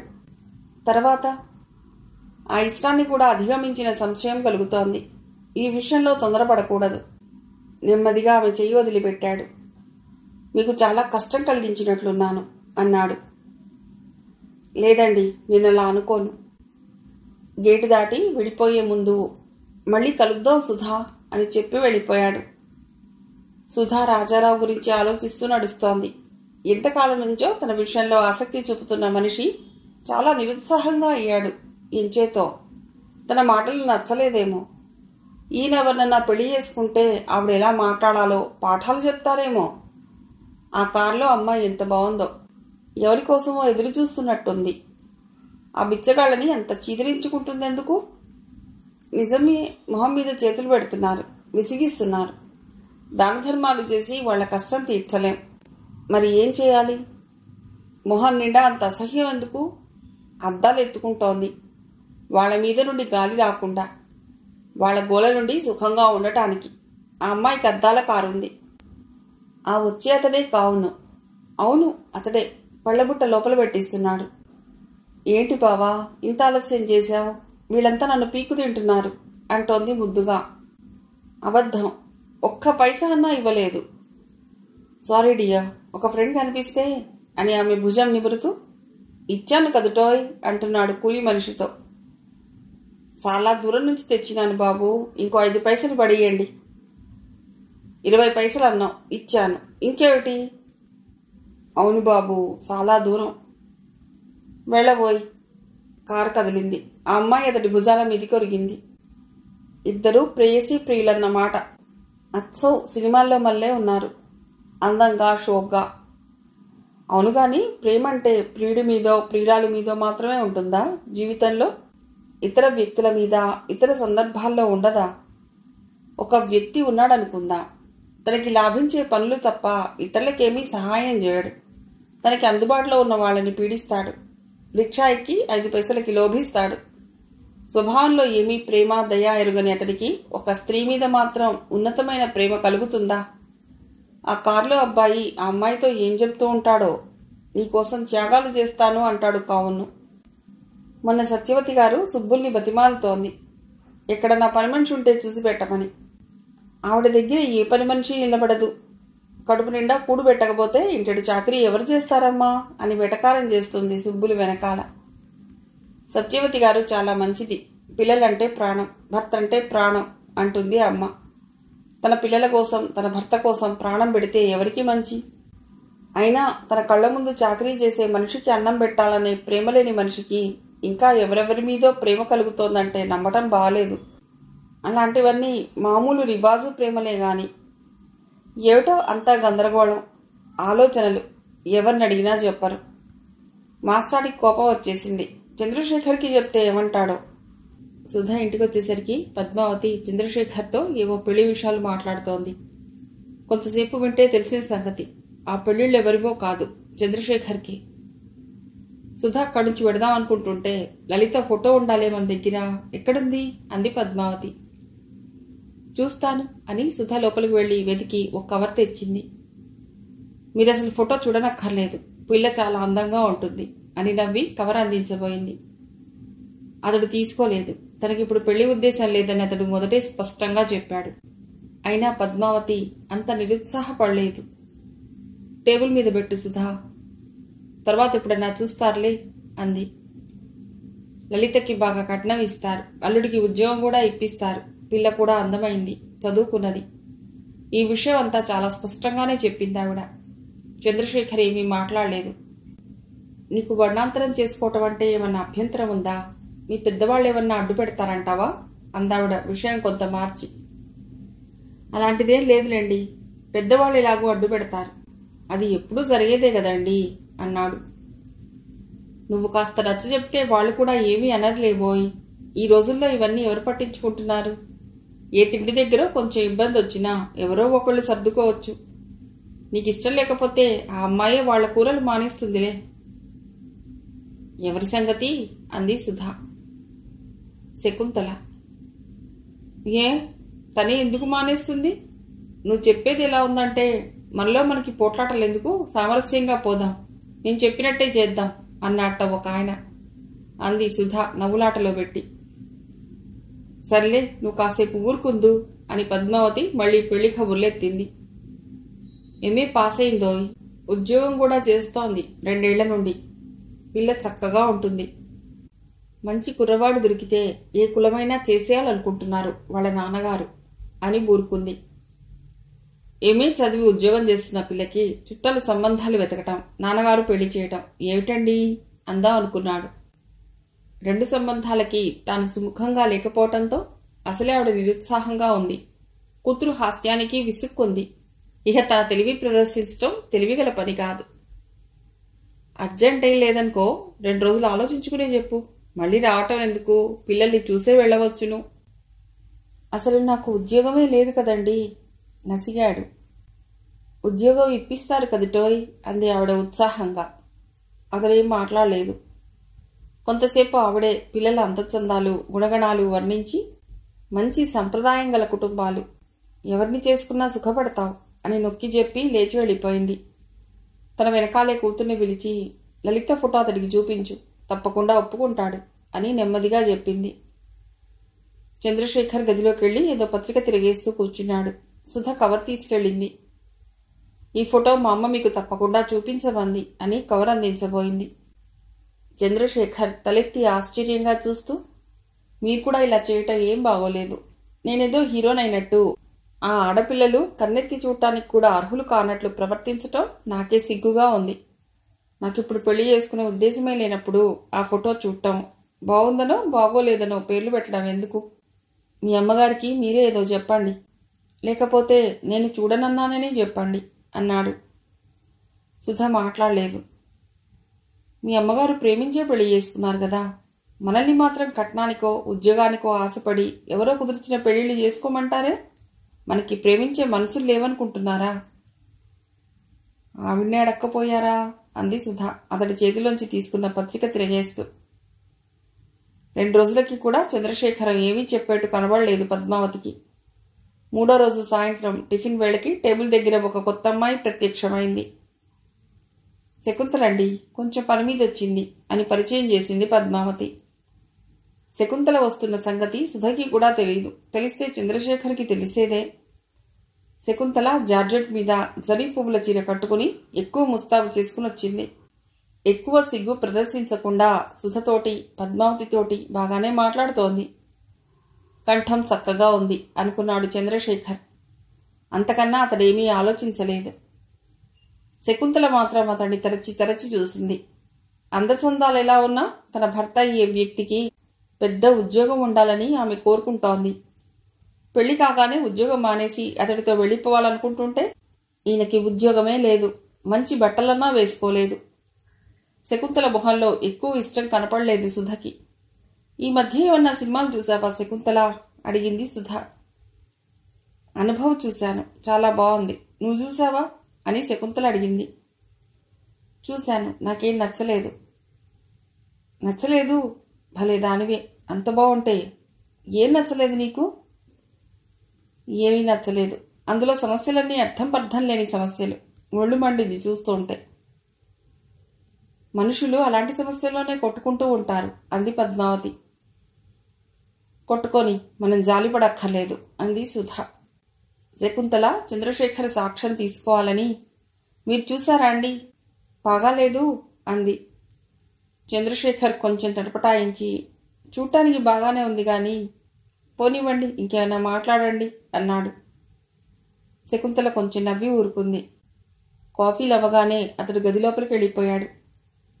శకుంతల పద్మావతి వెనకే వంటింట్లోకి వెళ్ళి అదేమిటి పిన్ని? అలా ఉన్నాడే? అంది.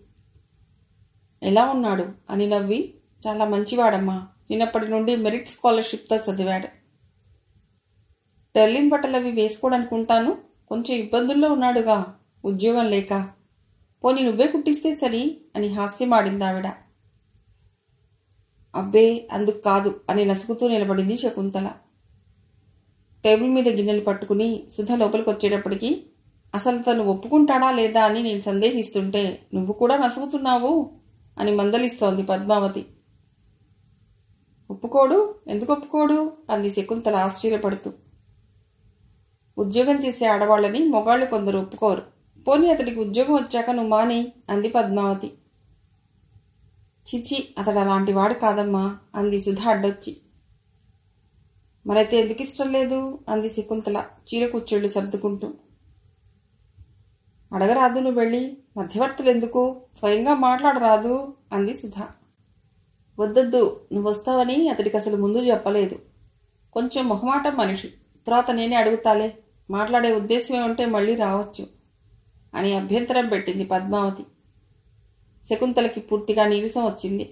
అలాంటి సంబంధం తప్పిపోతే నష్టమేమీ లేదు. భర్త అనేవాడు భార్యకి చీరలు కొని నగలు చేయించి ముద్దుముచ్చట్లు చూడాలి గాని తనే అతనికి బట్టలు కుట్టించాలట. బాగానే ఉంది. అనుకుని లేచింది. తన చీర మీద సుధ ఏమీ ఆసక్తి చూపించకపోతే ఈ చీర నీకు నచ్చలేదా? మొన్న ఫస్ట్ నాడు కొన్నాను. తొంభై రూపాయలు అంది. అంత ఖరీదా ఒక్క చీర? అని ఆశ్చర్యపడింది సుధ. నా దగ్గర నూట యాభై రూపాయల జార్జెట్ ఇంకోటి ఉంది. ఈసారి కట్టుకొస్తా. వెడతాను పిన్ని అని చెప్పి వెళ్ళిపోయింది. ఆ రోజు చంద్రశేఖర్కి కూడా ఏమీ ఉత్సాహంగా లేదు. రెండో ఇంటర్వ్యూలో కూడా అతడు సెలెక్ట్ కాలేదు. అతడే కాదు. అసలు ఇంటర్వ్యూకి వచ్చిన వాళ్ళు ఎవ్వరూ సెలెక్ట్ కాలేదు. ఇంటర్వ్యూ రివాజ్గా జరిగి ముగిసింది నాలుగు రోజుల కిందట. ఆ ఉద్యోగం ఎవరికొచ్చిందో చంద్రశేఖర్కి తెలియదు శకుంతల వెళ్ళిపోయిన తర్వాత సుధా ఖాళీ చేసుకుని అతడి దగ్గరికి వచ్చింది దిగులు పడకండి ధైర్యంగా ఉండండి అని ఓదార్చటం కృత్రిమ అభినయం అనిపించింది. విచారించే విషయానికి విచారించకపోతే సంతోషించే విషయానికి సంతోషించటం కూడా చేత కాదు. మనం కాసేపు బయటికి వెడదాం రండి అన్నాడు చంద్రశేఖర్. అమ్మ సినిమాకి వెళుతోంది. పక్కింటి ఆవిడ కబురు పంపితే వస్తానని చెప్పింది. మనం అంటే నేనే అనుకోండి కొంచెం వంట చేయాలి పూట. మీరు కూడా వంటింట్లోకి వచ్చి కూర్చుని అదే మన పార్క్ అనుకుంటే సరిపోతుంది అని నవ్వింది. ఎంత మాట? అది పార్క్ కన్నా గొప్పది. కడుపు నిండిన తర్వాతే పార్కులు షికార్లు. సరే అలాగే చేద్దాం అని ఆమోదించాడు.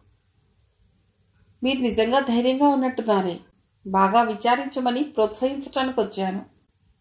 వస్తే వచ్చారు. నిరాశ పడకండి. మీరు ధైర్యంగా ఉండండి. సుధ నవ్వుతూ వెళ్ళింది. తల్లి పిలిస్తే పద్మావతి ఏమేం కూరలు వండాలో? ఏ కూరలో అల్లం వేయాలో? ఏ కూరలో కొబ్బరి వేయాలో? పదిసార్లు చెప్పి గేటు ముందుకు వచ్చిన పక్కింటి వాళ్ళ కారికి వెళ్ళిపోయింది.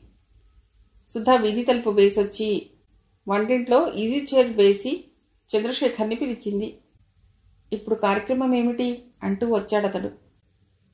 మీరేదన్నా చదువుతూ కూర్చోండి లేకపోతే మాటలు చెప్పండి. నేను వంట ప్రారంభిస్తాను.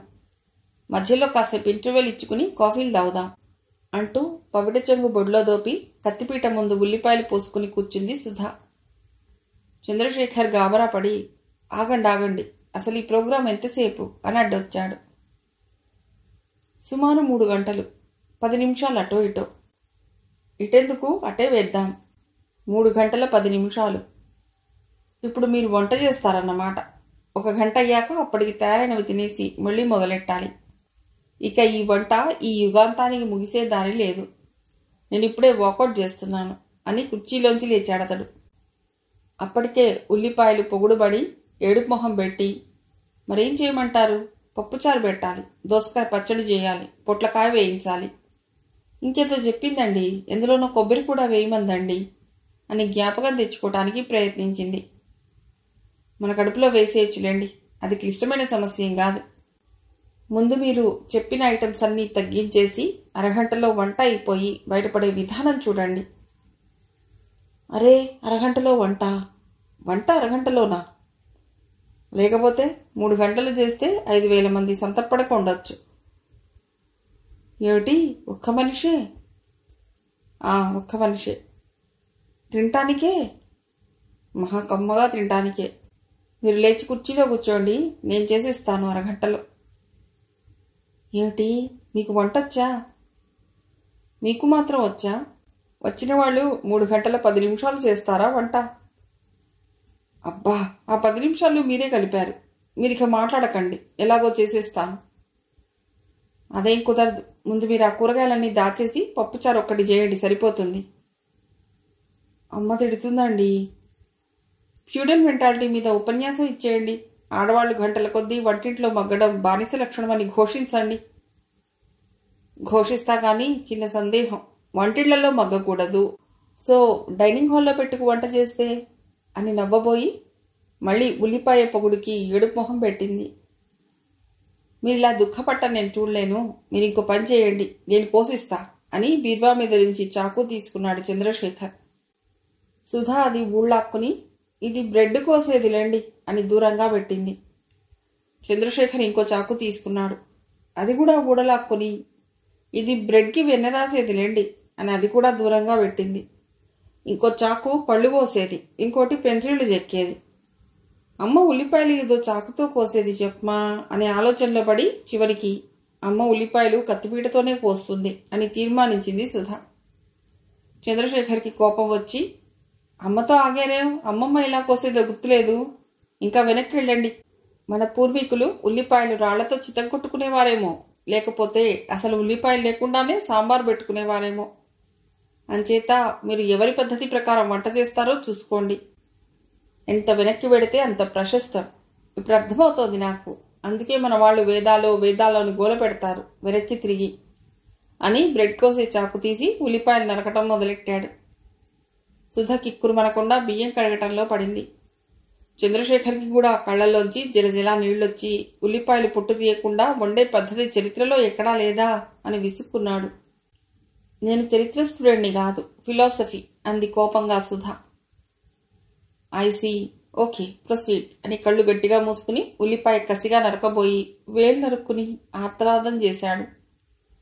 చివరికి రక్తపాతంతో అన్నం అనే ఒక్క మెత్తడి తెల్ల పిండి పదార్థంతో వంట ముగిసింది. ఇద్దరూ గబగబా బయటికి వచ్చారు వంటింట్లోంచి. తలుపులేసి తాళం పెట్టేయండి. నాకు నమ్మకం లేదు. మీరు మళ్ళీ వంటక్రియ ప్రారంభిస్తారు అన్నాడు చంద్రశేఖర్ భయపడుతూ. ఇంకా చెయ్యను ప్రామిస్ అని మాట ఇచ్చింది సుధా. ఇద్దరూ సబ్బులతో ఉల్లిపాయ వాసన చేతులను మొహాలు కడుక్కుని మంచినీళ్ళు తాగి అలసట తీర్చుకుని ఇంటి ముందు మొక్కల్లో కూర్చున్నారు. వంట చేయడం కష్టమే అనుకుంటాను అని కొంచెం పశ్చాత్తాపం వెలిబుచ్చాడు చంద్రశేఖర్. అరగంటలో చేయటం మరీ కష్టం. ఒప్పేసుకోండి అని ఒత్తిడి చేసింది సుధా. ఒప్పేసుకుని మన అమ్మలు ఎంత త్యాగధనులండి. వాళ్ళు కూడా వేళ్ళు కోసుకుంటారా మా అమ్మకి ఎన్ని వేళ్ళున్నాయో. లెక్క పెట్టాలి ఇంటికెళ్ళి. అని ఆతృతపడ్డాడు ఎప్పుడు పెడుతున్నారేమిటి రేపు పొద్దున. మా నాన్న ఏమన్నారు? ఇంటికి దయచేయమన్నారు. మళ్ళీ ఏదన్నా వస్తే కాకితో కబురంపుతామన్నారు. అయితే మీకు దొంగ నోట్ల వ్యాపారం తప్పేట లేదు. అందుకే శకుంతల్ని పెళ్ళి చేసుకోరాదు. పోని లలితని.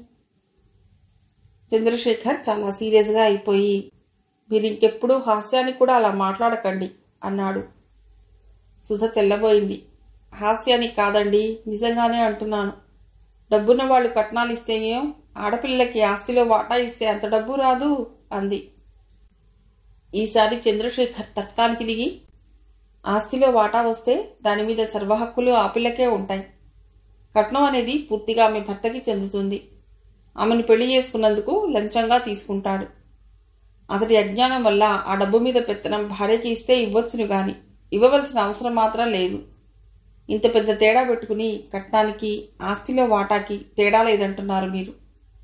వంటింట్లోకి వెళ్ళాక తెలివితేటలన్నీ పూర్తిగా నశించినట్లున్నాయి అని వివరించాడు. మీరు వచ్చారుగా నా వెనకాల అని నవ్వింది. మళ్ళీ ప్రసక్తి మార్చి పోని వాళ్ళు ఇవ్వాలనుకున్నది ఆ అమ్మాయికే ఇస్తారు. మీరు కట్నం తీసుకున్నామని అనుకోండి. మీకు ఉద్యోగం దొరుకుతుంది. మా నాన్న మీకోసం ప్రయత్నాలు చేయటం లేదు. అలాగే వాళ్ళు చేస్తారు. తప్పేముంది? మీ ఇబ్బందులన్నీ పోయి హాయిగా ఉంటారు. ఆలోచించి తర్వాత అమ్మకి ఉత్తరం రాయండి అని ముందు ఆలోచన లేని చిన్నపిల్లలకి నచ్చజెప్తున్నట్టు చూసింది. సుధకి ఆ రకం పెళ్ళి మాటలు మాట్లాడటం ఇష్టం లేదు. ఒకవేళ అవే అతడికి నచ్చి వాటిని గురించి ఆలోచించి ఇష్టపడి పెళ్ళి చేసుకుని ఉద్యోగం తెచ్చుకుని స్థిరపడతాడేమో అని సందేహించింది. చంద్రశేఖర్ చాలా అవమానపడ్డట్టు మొహం పెట్టి మీరు ఇలా మాట్లాడుతున్నారంటే నేను నమ్మలేకపోతున్నాను అని ఆశ్చర్యపడి మీతో పరిచయం అయ్యాక మీరింత లోకరివాజుగా అందరూ మాట్లాడే మాటలు మాట్లాడటం నేను ఎప్పుడూ వినలేదు అన్నాడు. పెళ్ళి చేసుకోవటం బతుకు తెరువు కోసమా అని ఒకసారి మీరు అసహించుకోలేదు ఆస్తి వస్తుందనో ఉద్యోగం దొరుకుతుందనో భార్య జీతం తెస్తుందనో పెళ్ళి చేసుకుంటే అది మాత్రం ఏమవుతుంది కట్టుగుడ్డలు తప్ప ఏమీ లేని పెద్దపిల్లని పెళ్ళి చేసుకోమని సలహా ఇస్తే నేను చాలా సంతోషించేవాణ్ణి. శకుంతల గారికి ఉద్యోగం లేకపోయినా ఆ రెండో అమ్మాయికి ఆస్తి లేకపోయినా ఈ పెళ్ళి హబులు జరగవుగా? అసలు మనిషి కోసం కాక మనిషి చుట్టూ ఉన్న అవకాశాల కోసం పెళ్ళి చేసుకునే అల్పుణ్ణి అనుకుంటున్నారా నన్ను? మీకుండే ప్రేమలు ఇష్టాలు ఆదర్శాలు పేదవాళ్ళకేమీ ఉండవనుకుంటున్నారా? అని అతడు చాలా కష్టపెట్టుకుని మాట్లాడుతుంటే సుధా సిగ్గుపడిపోయింది. ఏమీ మాట్లాడలేకపోయింది. పరిస్థితి అనుకోని విధంగా అయినందుకు చాలా విచారించింది. కానీ చంద్రశేఖర్ అభిప్రాయాలు అంత సంస్కారవంతంగా ఉన్నందుకు మనసులో చాలా ఆనందం కలిగింది. మాట్లాడకుండా ఊరుకుంటే అతడు తన పశ్చాత్తాపం గ్రహిస్తాడేమోనని దోషిమల్లే కూర్చుంది. కొంతసేపు మౌనంగా గడిచింది. గాలికి అతడి తల మీద పారిజాతం కొమ్మలు బూగి జలజల పువ్వులు రాల్చి గాలి నిండా పరిమళం నింపాయి చంద్రశేఖర్ లేచి నిలబడ్డాడు. సుధా ప్రయత్నంగా అతడి చేయి పట్టుకుని అంత కోపమే? అని నవ్వింది. ఒక ఉత్తరం రాయాలి. జ్ఞాపకం వచ్చింది. నేను రాయాలి. పది రోజుల నుండి జ్ఞాపకం వస్తోంది నాకు. అయితే మీ ఉత్తరం అర్జెంటు కాదు. మీరు కూర్చోండి. మీ అర్జెంటు ఉత్తరాన్ని ఇప్పుడెవ్వరూ విమానం మీద పట్టుకెళ్ళటం లేదు. కూర్చోండి ముందు అని చేయి పట్టుకులాగింది చంద్రశేఖర్ నవ్వి లేచిన చోటే కూర్చున్నాడు. నిజంగా మీరు కోపంతో నన్ను హడలు కొట్టారండి పేదవాళ్ళకి కోపం కూడానా? ఈనాడో సామెత కూడా చెప్పారు. ఆ సామెతల వ్యవహారం నాకు తెలియదు కానీ మీ పేదతనం మీ బట్టలది చెప్పులది అని నేను మొదట్లోనే అనుకున్నాను. కార్లల్లో మేడల్లో తిరిగే వాళ్ళలో అనేక మంది ఎంత నిరుపేదలో మీకు తెలుసు. నిజంగా నా మాటలతో మీకంత కష్టం కలిగించానా? నన్ను నమ్మండి. నేనెప్పుడూ మిమ్మల్ని అంత తక్కువ అంచనా వేయలేదు. మీరే నన్ను ధనగర్వంతో మిడిసిపడే వాళ్ళ రకంలో చేర్చి చాలా అవమానించారు. చంద్రశేఖర్ ఏమీ అనలేదు. ఇంకా కోపమేనా? రేపు మీరు ఎలాగో వెళ్ళిపోతున్నారు. ఈ ఒక్కరోజు ఇలా అయిపోవలసిందేనా? అని నవ్వి విచారం వెలిబుచ్చింది సుధా. చంద్రశేఖర్ నవ్వి కోపం లేదని రుజువు చేశాడు. సరే ఇప్పుడు చెప్పండి మీకు ఎలాంటి పిల్ల కావాలి? అలాంటి పిల్ల నాకెక్కడన్నా తారసపడితే మిమ్మల్ని కలుసుకోమని మీ అడ్రస్ ఇస్తాను. మీ రుణం నేను ఉంచుకోను నేను ఆ పనే చేస్తాను. మీకు ఎలాంటి అబ్బాయి కావాలో చెప్పండి అన్నాడు. మీకు ఇంకా తెలీదా? నేను పెళ్ళి చేసుకోను. ఎంచేత గేటు ముందు కారాగింది. పద్మావతి దిగింది. అమ్మ వచ్చేసింది. ఎందులోనో అల్లం వేయమందండి అని కంగారు పడింది సుధా. సుధ కంగారు పోయేట్టు ఉచితమైన సలహా ఇవ్వలేనందుకు కొంచెం విచారించాడు చంద్రశేఖర్. పద్మావతి వంటింట్లోకి వెళ్ళి దాని స్వరూపమంతా గ్రహించి అయితే నువ్వు కూరలేమీ చేయలేదన్నమాట. మంచి పని చేశావు అని చాలా క్లుప్తంగా కోప్పడి విశాలమైన హృదయంతో క్షమించేసింది. అమ్మకి సినిమా ఎంత బాగా నచ్చిందో ఆ మధుర స్మృతుల ముందు ఈ క్షుద్ర విషయాలు పట్టించుకునే స్థితిలో లేదు. బతికాను దేవుడా అని సంతోషించి మా అమ్మ తిట్టలేదండి. నా సంతోషం మీకు కూడా పంచిపెడదామని వచ్చాను. లేవండి పచ్చడి భోజనానికి రండి అని పిలిచి వెళ్ళిపోయింది. భోజనాల దగ్గర సుధ తండ్రి బాగా విసుక్కుని వంట చేసి పడేసి సినిమాకి పోకూడదు అన్నాడు. పద్మావతి మాట్లాడలేదు. సుధ ఏదో సంజోషి చెప్పాలనుకుని మళ్ళీ నచ్చక మానేసి ఆలోచనల్లో పడింది. చంద్రశేఖర్ తొందరగా భోజనం ముగించి గదిలోకి వెళ్ళిపోయాడు. పడుకోబోయే ముందు పద్మావతి కూతుర్ని పిలిచి రెండు వందల రూపాయల నోట్లు అందిస్తూ తీసుకెళ్ళి మీ నాన్నమోహన పారే ఆ పూనకం దిగుతుంది అని ఇవ్వబోయింది. శర్మగారిని అడిగావా? అని ఆశ్చర్యంగా అడిగింది సుధ. నేను అడగలేదు ఆయనే ఇచ్చారు. సుధకి అసహ్యం వేసి నువ్వే ఇచ్చి క్షమాపణ చెప్పుకో. అంత సిగ్గులేని పని నా చేత కాదు అని గిరుక్కున తిరిగి వెళ్ళిపోయింది. సుధగారికి రైలు కింద ప్లాట్ఫామ్ మీద మీరు తెల్లచీరతో దూది పింజమల్లే దూరంలో కలిసిపోయాక నేను చాలా నిరుత్సాహంగా ఒక మూల బల్ల మీద జనం రద్దీలో మీ ఆలోచనలతో కాలం గడిపేశాను. మీరు మంచి మనసుతో నాతో చేసిన స్నేహం మీ ఉన్నత స్వభావం మీ మాటలు ఎప్పటికప్పుడు నన్ను సంభ్రమంలో ముంచుతున్నాయి. రైలు కదిలే ముందు మళ్ళీ ఎప్పుడొస్తారు అని మీరు అడిగితే నేను మాట్లాడలేకపోయాను. అది నిర్లక్ష్యం అనుకున్నారేమోనని తర్వాత భయపడ్డాను. కానీ మీరు అలా అనుకున్నట్టు కనబడలేదు. నేను జవాబు చెప్పకపోయినా కోపం తెచ్చుకోనట్టు నవ్వి ఊరుకున్నారు. ఈ ఉత్తరం చదివి నేను చాలా సాహసం చేశాననుకుంటారేమో. మీరంటే నాకు కలుగుతున్న ప్రేమే మీకు నాకు ఉన్న కొన్ని అంతరాల్ని దాటించి ఈ సాహసం చేసే అర్హత కలిగించింది అనుకుంటున్నాను మీకు ప్రేమలో నమ్మకం లేదని అనేకసార్లు అనటం విని విచారించాను. ఆ నమ్మకం కలిగించే వ్యక్తి ఎప్పుడైనా జీవితంలో తారసపడవచ్చునని కూడా మీరు అనుకోవటం లేదు. మీకు ఈ లోకంలో ఎప్పుడైనా ప్రేమ దొరకవచ్చును కానీ మీరనే సంస్కారం దొరకదు. ఎందుకంటే అది ఈ సంఘానికే లేదు ఈ దేశానికే లేదు ఈ విధంగా ప్రపంచానికే లేదు. పక్షులకి జంతువులకి కష్టాలుంటే అవి ఒకరు విధించినవి కావు. ఒకరు తీర్చగలిగేవి కావు. మనుషుల కష్టాలు మనుషులు కలిగించుకునేవే. ప్రపంచమంతా కొందరిని దరిద్రంలో ఆకలిలో మగ్గబెట్టే విధానాలు స్వలాభాల కోసం చేసే యుద్ధాలు అజ్ఞానంతో తెచ్చుకునే జబ్బులు కాళ్ళకి బంధాలు వేసే నీతులు మతాలు దేవుళ్ళు అసూయలు అహంకారాలు ఒక్కటేమిటి? సమస్త మానవ సమస్యలన్నీ చాలా నేర్పుగా చాకచక్యంగా తెలివిగా ఆలోచించి మానవులు తయారు చేసుకుంటున్నవే. వాటిని వదులుచుకునే మార్గాలు ఉన్నాయేమో వెతకరు. వెతికితే అవి కనబడితే ఎవరైనా చూపిస్తే వాటిని ఆమోదిస్తే లోకం నీతులని సంఘాన్ని మతాల్ని దేవుళ్ళని వదిలేసి మనుషులు దుఃఖాలు కష్టాలు దరిద్రాలు అసమానత్వాలు యుద్ధాలు రోగాలు పోయి చెడిపోతారని సమానత్వంతో జ్ఞానంతో ఆరోగ్యంతో స్వేచ్ఛతో నాశనమవుతారని ప్రపంచానికి సంస్కారం లేదంటే మీకు నా మాటల్లో నమ్మకం కలగకపోవచ్చు. లక్ష్మణరావు గారి అతడు ఆమె చదివారా? బహుశా మీరు చదివి ఉండరు. మన విమర్శకాగ్రేసరులు వారి ఆస్థాన రచయితల భజన తప్ప ఎక్కడ ఏ మెరుపు ఎక్కడ ఏ అందం ఏ కాంతి కనబడతాయో చూడలేరు. ఈ పుస్తకానికి ఎవ్వరూ తమ వ్యాస పరంపరలో చోటివ్వక మీ దృష్టికి వచ్చి ఉండదు. నేను కూడా ఒక పుస్తకాల పురుగు మిత్రుడు పోరటం వల్ల చదివాను. అందులో ఒక చిన్న విషయం చెప్తాను. కన్యాశుల్కం నాటకాన్ని ఉదాహరణగా తీసుకుని రచయిత మానవ సమాజాన్ని దాని చుట్టూ ముసిరే దుష్ట శక్తుల్ని మనకి ఎంతో స్పష్టంగా అర్థమయ్యే విధానంలో చెప్పాడు. బుచ్చమ్మ ఎవరో కాదు మానవ సమాజం.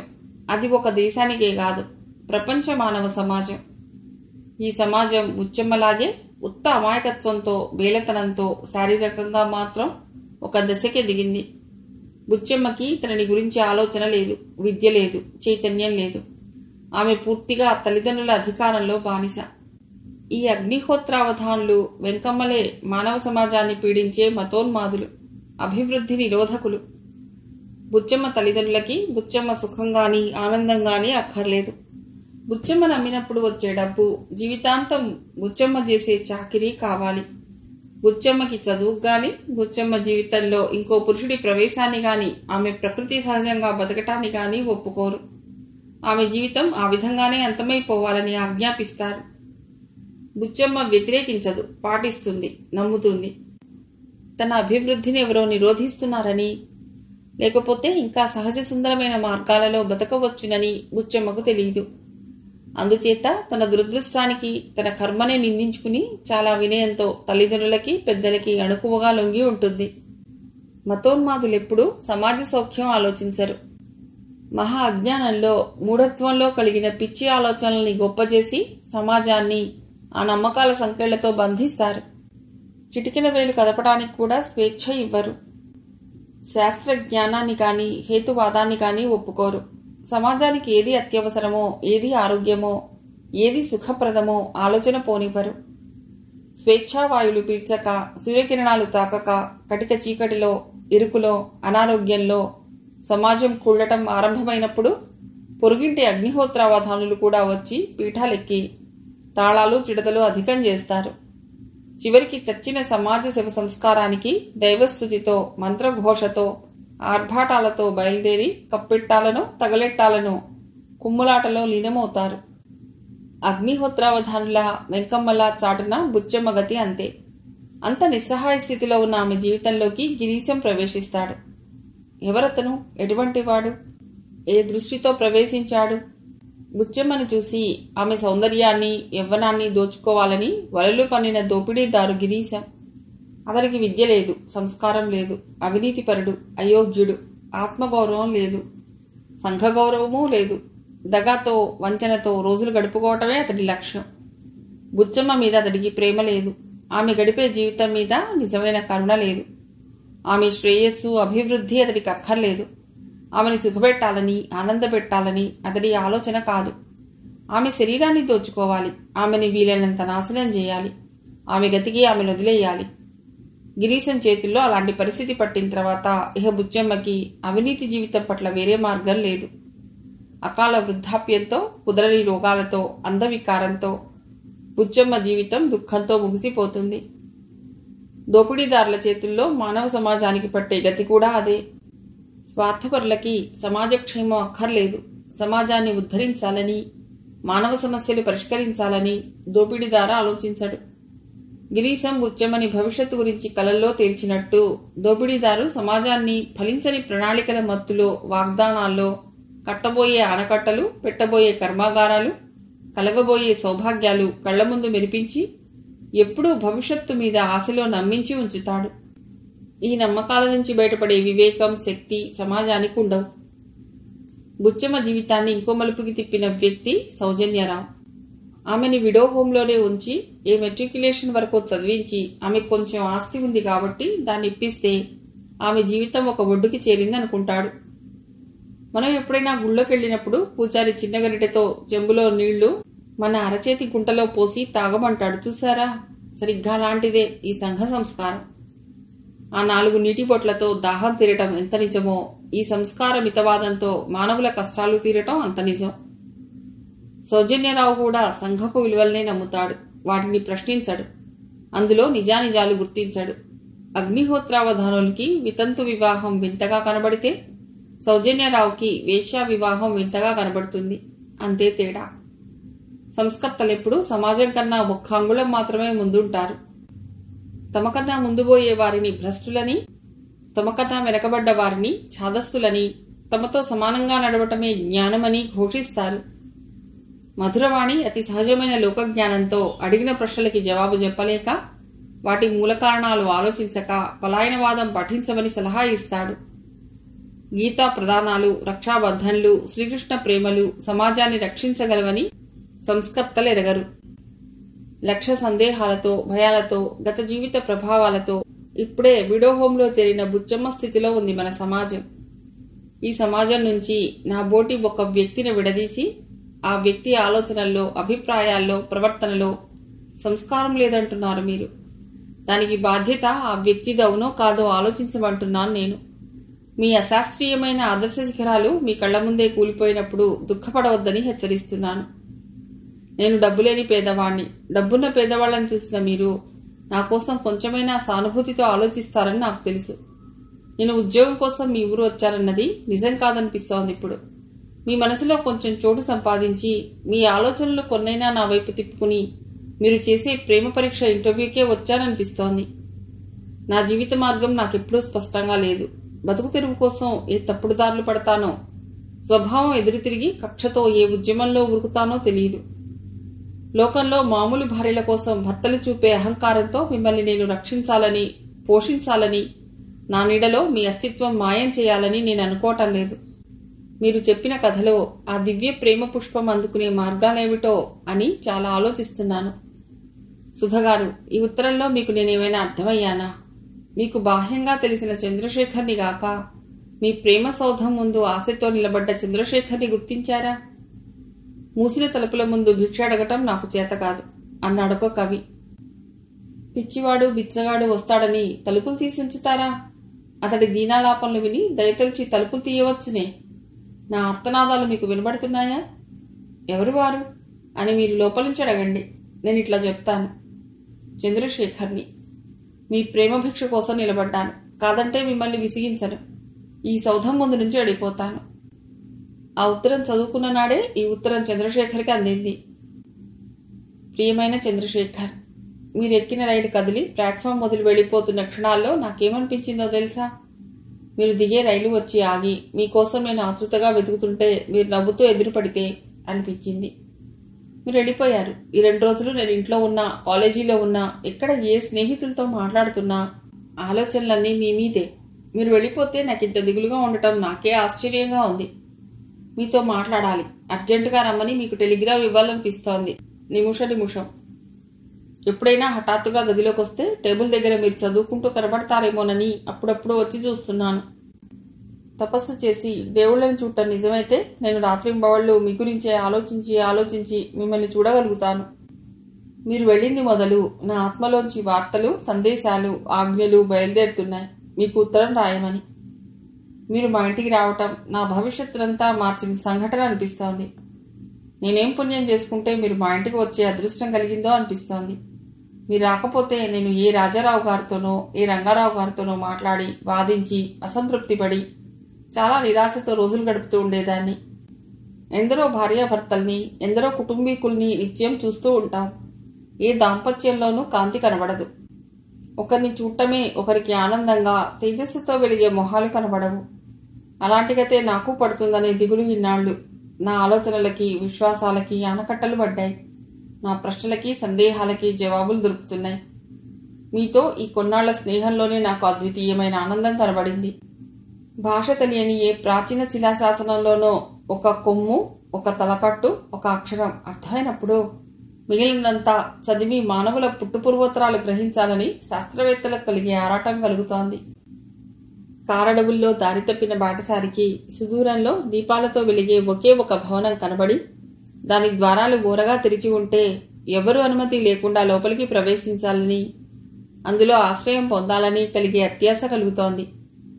ప్రేమ అనే దివ్య ఆకాశ సౌధపు లోపలి సుందరమైన గదుల్లో ఏం చిత్రాలున్నాయో ఏ అద్భుతాలున్నాయో ఎంతటి మహాత్మ్యాలున్నాయో తెలుసుకోవాలనే సంభ్రమం కలుగుతోంది. పువ్వులు పూసే తోటల్లో సెలయేళ్ళు ప్రవహించే కొండల్లో నక్షత్రాలు మెరిసే ఆకాశంలో మనమిద్దరమే జీవించటం ఊహిస్తున్నాను. ఏ స్త్రీ పురుషులైనా ఇలాంటి కళ్ళే కంటారేమో? అవి ఇంత సహజమో? అంత క్షణికమేమో? అని మనస్సు నిండా భయం. జీవితంలో ఎవరి అనుభవాలు వారివే? ఎవరి శ్వాస వారి ప్రాణాలను నిలుపుతోన్నట్టు ఎవరి కళ్ళు వారిని నడుపుతుంటాయా? మీరు వింటే ఏమంటారో? నేను ఇలా మీకు ఉత్తరం రాస్తుంటే నాకు చాలా ఆనందంగా ఉంది. ఈ ఆనంద తరంగాలు నా ఊహా సరస్సులో ప్రయాణం చేసి ఈ ఉత్తరం చదివినప్పుడు మీ మనస్సుని కూడా తాకుతాయని అనుకుంటున్నాను. నా అనుమతి లేకుండా రాజారావు గారు తొందరపడి నా చేయి పట్టుకుని సందేహించి వదిలేశారు. చాలా అప్రయత్నంగా నేను మీ చేయి పట్టుకుని మీ స్పర్శతో కొత్తదారుల్లోకి చూపు తిప్పాను. చీకటి ఆకాశంలో తళుక్కున మెరుపు మెరిసినట్టు మీరొచ్చి వెళ్ళిపోయారు. నా ఊహల్ని కలల్ని కాగితం మీద తర్జుమా చేయటం కొత్తగా నేర్చుకుంటున్నాను. ఈ పిచ్చి ఉత్తరం చూసి సుధ ఇంతేనా అనుకోకండి. ఈ అక్షరాలలో నన్ను నేను వ్యక్తం చేసుకోగలిగే చాతుర్యం నాకు లేదు. ఈ కళల్లో సుధని ఈ ఆశల్లో సుధని సుధలో సుధని అర్థం చేసుకోండి. నా ఆలోచనలన్నీ మీ చుట్టూనే తిరుగుతాయంటే మనుషులకి ప్రేమ చాలదని.